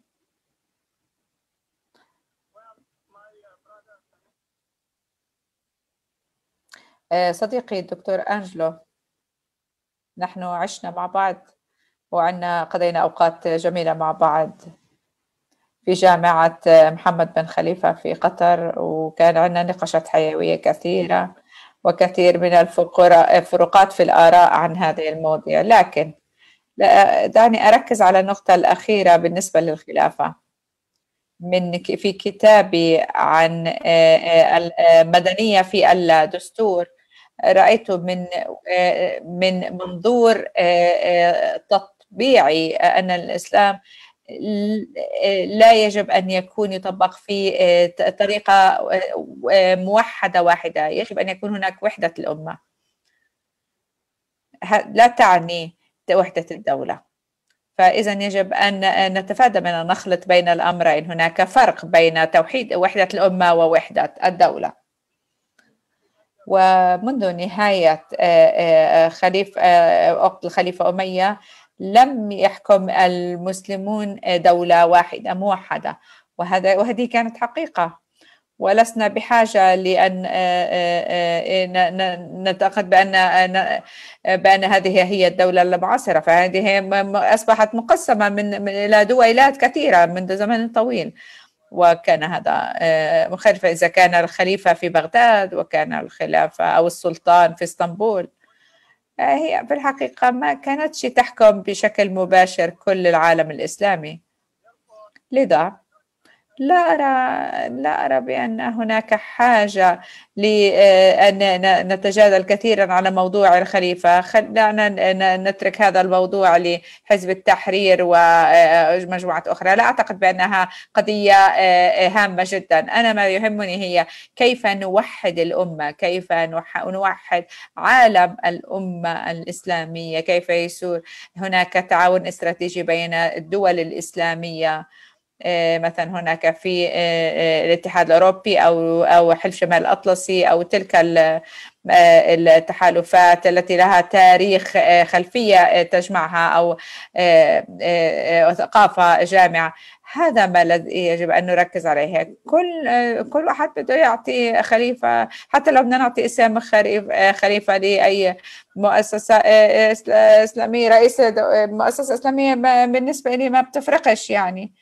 يعني خلال وقت سناشقة سلاجقة لكن يعني الاسم نفسه لا يغير شيء.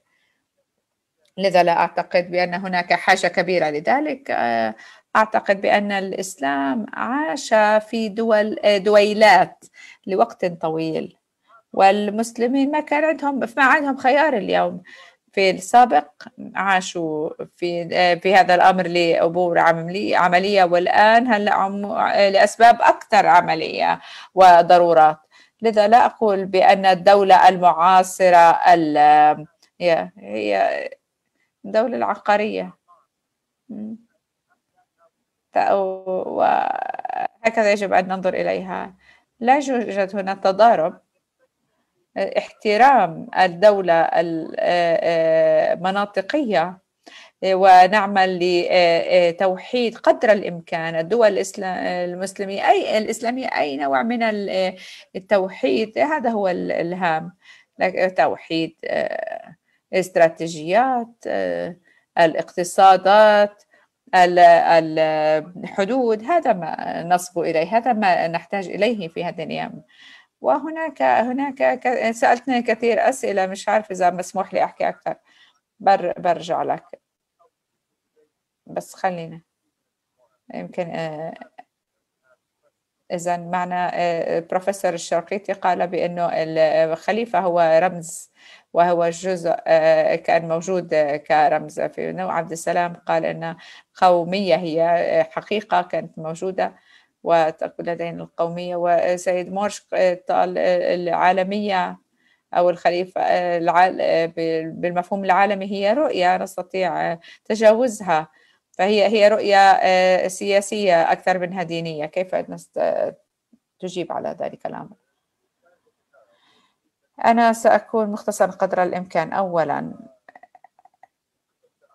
مع دكتور عبد السلام دكتور الشنقيطي يبدو بأن هناك فرق كبير لكن بحد ما هي الفرق هو العنصر بتفكير مغاير ومعاني مخالفة. لكن أعتقد بأن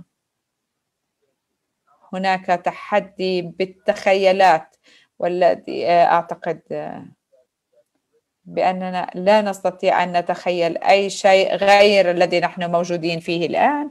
وهذا المكان المغلق الموجودين الموجودين فيه والذي يجب أننا يتم فيه ذبحنا هناك دول مسلمة فاشلة فإذا ونبقى غير قادرين حتى على إعطاء أنفسنا الصلاحية لأن نتخيل. ولكن أو أود أحب اقتراح مقترح الدكتور عبد السلام أن أن الدول هي القوميه يجب أن تبقى هناك. ماذا نعني بالدول هذا تغير أنا عندما أتحدث أن أقول أن هناك هذه الإدارات المناطقية لا أستطيع بأنها هي موجودة هناك حتى تبقى الدول الأمم الدول القومية هي يجب أن تكون ولا يجب التخلص منها حتى نتخيل بأن هناك نوع مختلف من ال آه، آه، توحيد اقتصادي اجتماعي سياسي. ما أعتقده هو أن حوكمة أو حك ما تحتاجه حوكمة الأمة ذكر الدكتور شنقيطي كان يعني في عنده تحدي أكبر إنه أي شيء نتخيل إنه أي شيء آه، آه، يتفادى أو أو يتجاوز دول الأمم هو شيء آه، يكون كافي ليضعنا في اليأس. أنا أنا أشعر ب أشفق عليه.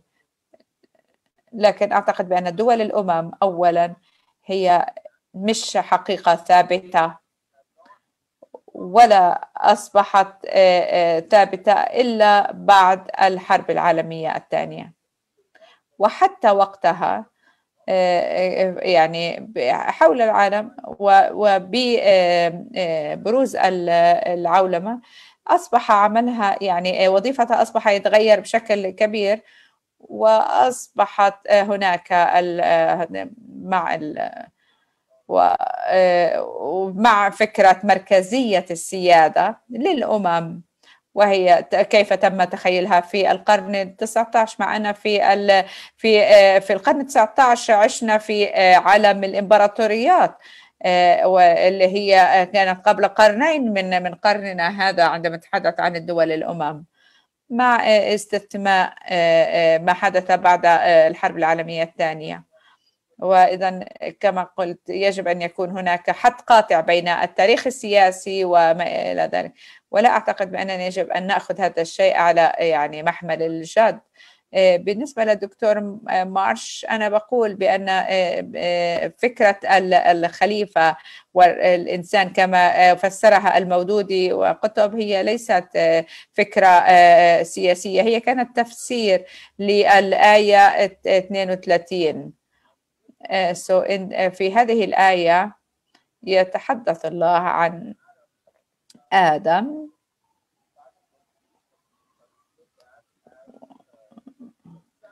كالذين ورثوا هذا الشيء. والمودودي تحت تأثير آخرين أعطاه هذا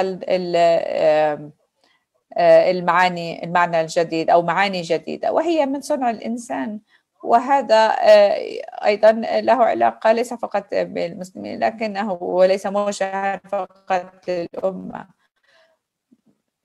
بأن هذه الحقب والعقود تم أصبحت هناك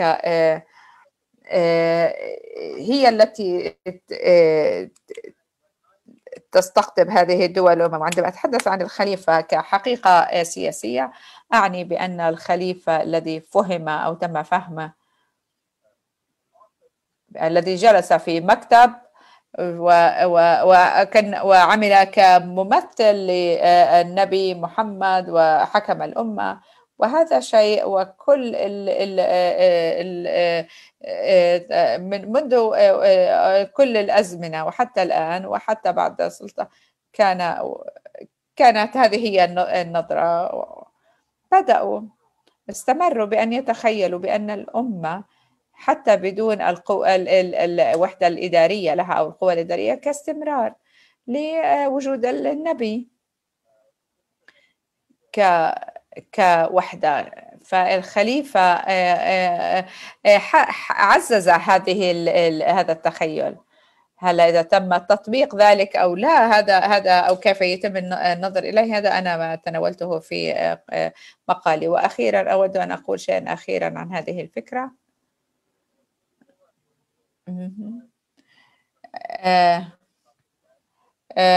عن حقيقة أن هذه الأفكار وأن هذه حقيقة.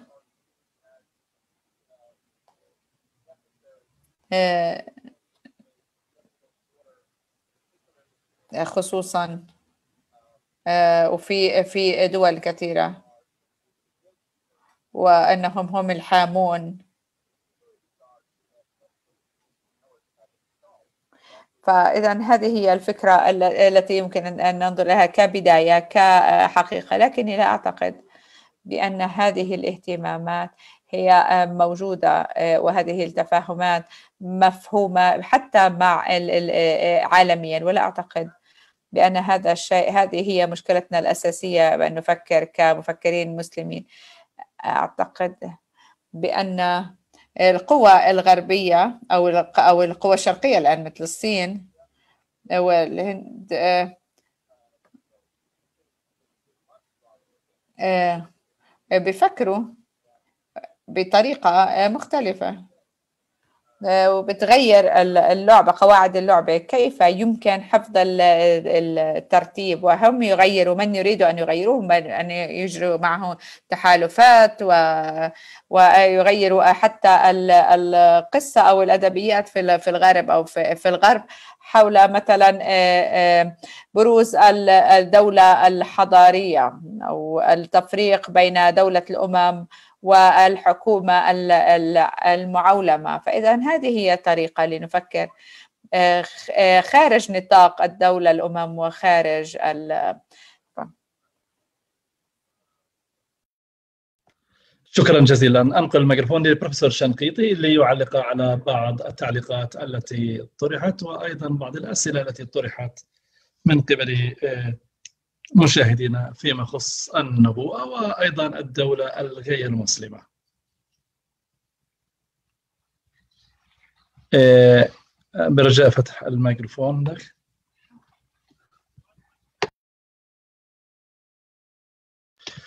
صديقي آه، أعتقد أن صديقي يجب أن لا نقلل من قوة الخيال والذاكرة وكطالب في الفلسفة ونتحدث عن الجمهورية الرومانية حتى للمتحدثين عن الدولة الفيدرالية كل الديمقراطية الحديثة عندما بدأت بدأت بمثل هذا النوع من الحلم والطموح من الأيام القديمة لأثينا وروما. وكانوا يحلمون ويجب أن يحلموا ولكن هذا لا يعني أن ما سيقومون به مستحيل. أعتقد أن بعضه ممكن ويجب أن يبذلوا قصارى جهدهم ضمن الظروف المتاحة. مرة أخرى أنا أعتقد أن الإسلام هو دين عملي والدولة الإقليمية كانت حقيقة وستواصل كونها حقيقة وبالتالي احتياجات الأمة كانت آه، آه، غطاء أو إلزاما وبالتالي في كتابي أنا قدمت ثلاث نظريات تختص بالأمة التي آه، طورت ثلاث طور ثلاث منظرين عبد الفتاح السنوري ونظريته حول الإسلام رابطة الأمم الإسلامية وال وأيضا في كتابه إسلام كومنولث وأيضا متاثرا بالكومنولث البريطانية. هنالك نظريات عمل هي تنجح إن كانت عملية فقط. نعم. أتمنى لو كان بإمكاننا هدم الجدار كما قال ريغان بخصوص جدار برلين. وفتح فتح الحدود بين البلدين. وأتمنى أن يحدث ذلك. وأعتقد أنه سيحدث فيما بين بعض البلدان. ولكنك لو نظرت إلى الأمة ككل علينا أن نكون عمليين فيما يخص الفروق الثقافية والإثنية والجغرافية والمسافات الجغرافية وغير ذلك. أنا لا أعتقد أنه سيكون من العمل أن نحلم بالمغاربة والأفغان أن يكون لديهم ذات الجواز السفر في دولة واحدة تحكمها حكومة واحدة ولكن بإمكانك أن تحلم أن أفغانستان والمغرب بدون فيزا و وربما يكون لديهم تعاون عسكري كما هو الحال بين نيوزيلندا وكندا. وهذه هذا النوع من الإمكانيات. ولو فكرنا بطريقة عملية ليس علينا أن نقوم ب هذه المقاربة المتعارضة ما بين التاريخ الحلم التاريخي والواقع الذي الموروث من أكثر من عدوان أخذناه من الكولونيالية الغربية ولكنه من الجيد جدا أن نكون عمليين عندما نحاول أن نحل هذه المشاكل جميعا والمشاكل الصعبة. أنت سألت عن موضوع الشيعة وولاية الفقيه وبدون الشيعية وأنا في الواقع ما كنت أتحدث عنه وأقوله هو أن الشيعة بدون أنا لا أعتقد أن هذا الجانب ولاية الفقيه لأنه بعكس الأفكار الإسلامية الأساسية المتعلقة بالفكر الإسلامي بعدم إعطاء أي شرعية آه، آه، سياسية للمفكرين الإسلاميين. إن المفكرين المسلمين هم علماء كغيرهم من العلماء هناك فرق ما بين العلم والشرعية.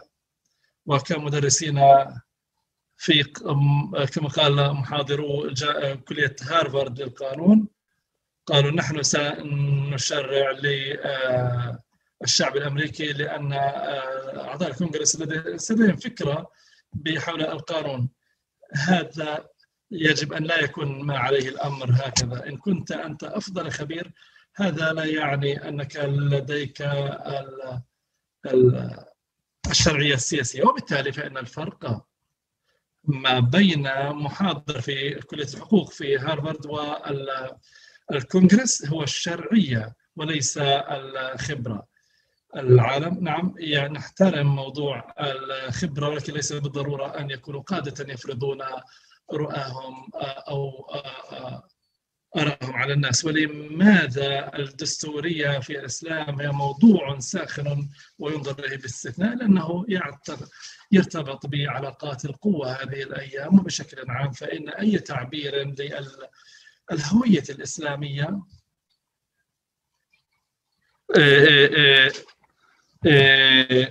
نحن نفكر أحيانا بالحرب فيما بين فرنسا وهذه القطعة البسيطة من القماش الحجاب. وأنا أعتقد أنه لا, ش... لا يوجد شخص يتحدث عن هذه البلدان التي فيها الكاثوليكية كدين اختياري أو تطلب منك أن تكون بوذيا أو لوثري الجميع يتحدث عن هذه القضية عندما تطرح ضمن السياق الإسلامي. هذه قضية قوة وسلطة وعلى المسلمين أن يخرجوا من نموذج الدفاعي. ربما نموذج كوستاريكا أو بلدان جنوب أمريكا الجنوبية لديهم اختلافات في السلطة فيما بينهم. ولكن لا نرى مثلا هذه مشكلة في هذه البلدان. لماذا عند المسلمين؟ لأنهم آه، أمم مسيحية بكل بساطة. التحيز الديني هو جزء من هويتنا بغض النظر عن علمانيتنا. أنت تجد شخص علماني جدا ولكنه متعصب جدا فيما يتعلق بانحيازه الديني ضد الآخرين وهذا ليس بالأمر الجديد. ما أحاول أن أقوله أن المسلمين يلزمهم أن يكون لديهم آه، ثقة أكثر بالذات وأن يخرجوا من الحالة الدفاعية وأن يركزوا على تحقيق ما يطمحون إليه دون أي نوع من سوء الحكم أو آه، آه، غياب العدل ضد الأقليات في البلدان ذات الغالبية المسلمة ولكن ليس بالضرورة أن يكون عليه من يفكر كثيرا في هذا النوع من الرد الانحيازي ضد الإسلام والأساس هو الدم قرط في هذا الموضوع. وفيلدمان آه، آه، تحدث عن هذا الموضوع بشكل جميل عندما كان يكتب في الموضوع الدستور العراقي. قال عندما كان أحد أعضاء البرلمان العراقي كانوا يرفضون وضع أي شيء يتعلق بالإسلام في الدستور قال لهم يا أصدقاء دعونا آه، آه، آه، نكون صالحين في هذا الموضوع. بكل بساطة ديمقراطية أكثر إسلام أكثر. ديمقراطية أكثر في البلدان ذات الغالبية المسلمة تعني إسلام أكثر. وهذا يشرح الذين ما قلته في موضوع الغنوشي لماذا الآن هناك تحرك أكثر الإسلامية أكثر من الديمقراطية الإسلامية. هذا عنصر براغماتي في هذا الموضوع لأنه ليس علي أن أتحدث كثيرا عن الإسلام ولكن علي أن أتحدث أن يجب أن يكون لدي ديمقراطية والإسلام سيأتي كمنتج إضافي لذلك هذا ما يريده الناس. وهذا يحدث في تركيا كذلك. حتى الدولة التركية الرسم الرسمية العلمانية كأحمد كورو وغيره الذين كانوا الباحثين في العلمانية التركية قارنوا ما بين العلمانية الفرنسية والأمريكية. ولكن كلما تطورت الديمقراطية التركية كلما تطور وجود الإسلام في الحياة العامة. اسمح لي أن أقاطعك الآن لأن الوقت ينفذ منا وعلي أن أعطي. آه، سؤالك الأخير كان كان أقول في دقيقة واحدة أنت سألت عن الاعتراف بالدولة غير المسلمة. أنا لا أرى أي مشكلة أو لا أراها كمشكلة إلا في آه، عقل الحلاق الذي قال أن آه، لأن الإسلام يقسم العالم إلى دولة الإسلام ودولة غير الإسلام. وبالتالي لا أرى هناك مشكلة في ذلك السياق. أنه يأتي في سياق الصراع ما بين الإمبراطوريات ولا علاقة له بالكتابات الإسلامية. أو دار الإسلام دار حرب مثلا ولا يوجد شخص يتحدث عن هذا الموضوع. مرة أخرى هناك الكثير من الاعتراضات وهذا الضجيج حول الاختلافات. هذا لا يحتاج الكثير من النقاش. بإمكاني آه، آه، بروفيسور أنجو أنا أعتقد أن فكرة أندرو هي الصائبة في موضوع خلافة البشر. وموضوع الخلافة في السياق لا أتحدث عنها في السياق الإداري والسياسي ولكن في فلسفة الدين من الذي لديه السلطة التفسيرية والسلطة التنفيذية؟ هل هي الرسالة المقدسة الموجهة للكيان الجمعي للأمة أم هي موجهة إلى حاكم والحاكم هو ينفذها ويطبقها علينا؟ الإسلام في الواقع جعل من الأمة هي التي تفسر ولديها السلطة التنفيذية والتفسيرية وليس الحاكم. والله أعلى وأعلم. شكرا شكرا جزيلا لك. إحنا بس بدي أعطي بروفيسور عبد السلام ومارش بعد الدقائق بروفيسور مارش لو وانت الشيء الوحيد الذي لم أجب عليه هو سؤالك الأول. التفرد والذي ممكن أن نقصه وهو شيء شائع جدا. مثلا تحدثنا هو شائع جدا نتحدث عن يكون هناك حركة في هذا المجال. هو شيء أنا أقول وأنا لا أمزح في ذلك. قد تكون هناك إمكانية لكن هو أفضل من كثير من الغرب في عندنا المسيحيين ويهود ولم يكن لدينا وأمور أخرى. لكن هو فهذه من أحد أهدافنا. وكانت هناك حالات كثيرة من الأمور التي الإعدامات التي صارت.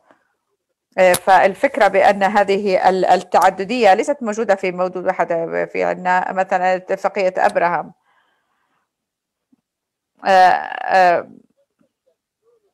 فالتعددية اليوم بين المسيحية واليهودية نوع من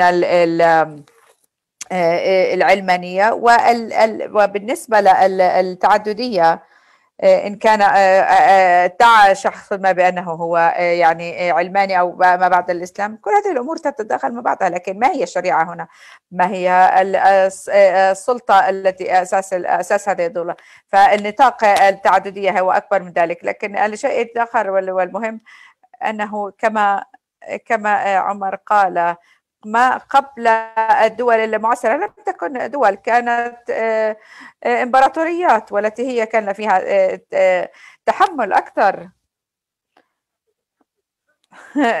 وخصوصا بعد مثلا ما أصبحت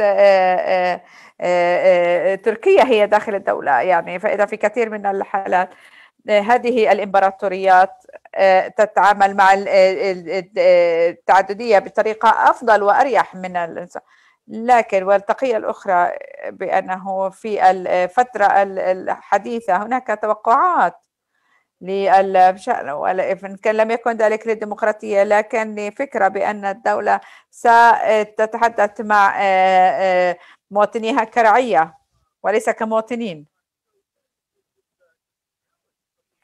فتحدي العلاقات ما بين المحكوم والدولة تم تحويله بشكل كبير. وأنا أقول لكم كيف ما نفكر في التقليدية أو لا أو أو, أو, أو كل هذه الأمور الكثيرة الديمقراطيين وغيرها في الدول المسلمة الحديثة تود أن ترتبط مع دولها كمواطنين وهكذا يأتي مفهوم المواطنة والعلمانية والتي يمكن أن تكون كممثل. وفي ما قبل الحدث في السلطنة ما قبل الحوادث لم يجربوا هذا النوع من الالتزام. كانت العلاقات قصرية وكانت رقيقة. ولذا هذا ما أفكر به بأن يجب أن نفكر في جميلا إن قال أحد ما ما قبل الحداثة المدينة مع التعددية لكن هي هي يعني تقليد مبتكر.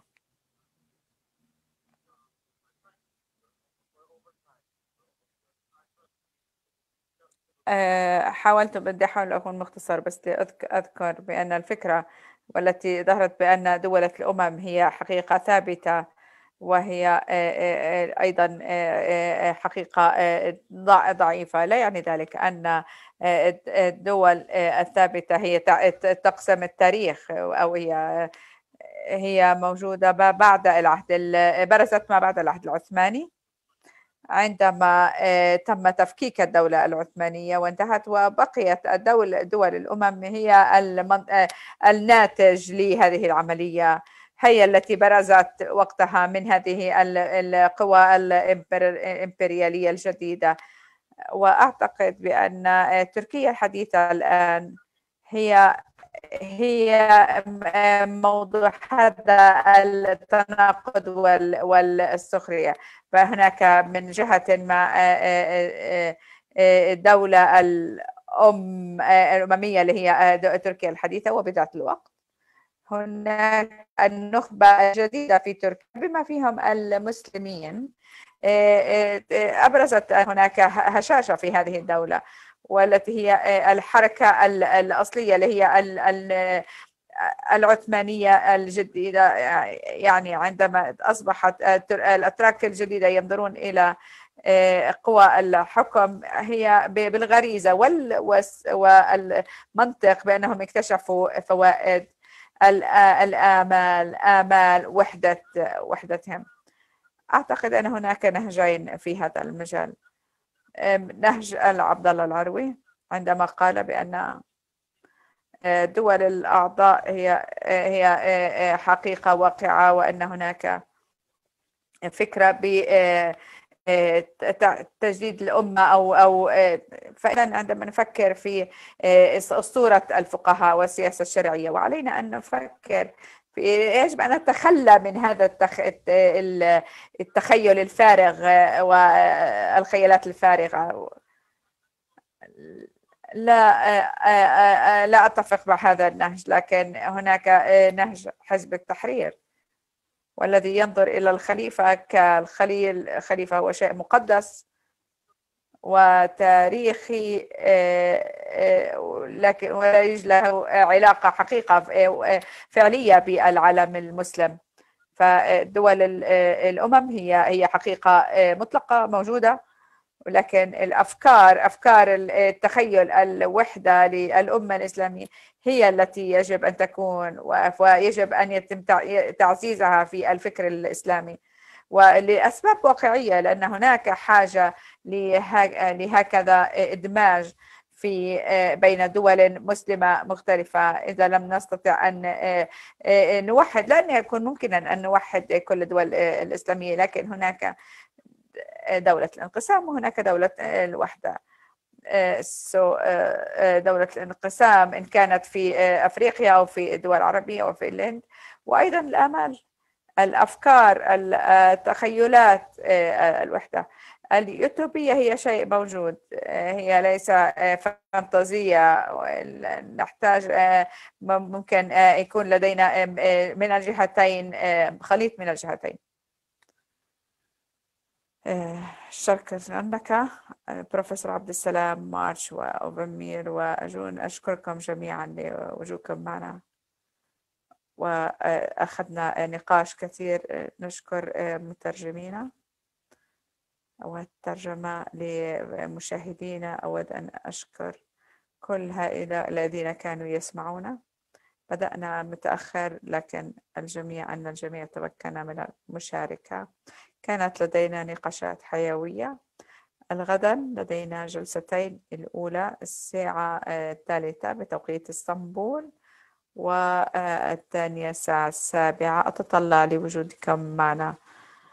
آه، آه، أمل في المرة القادمة أن نلتقي في إسطنبول.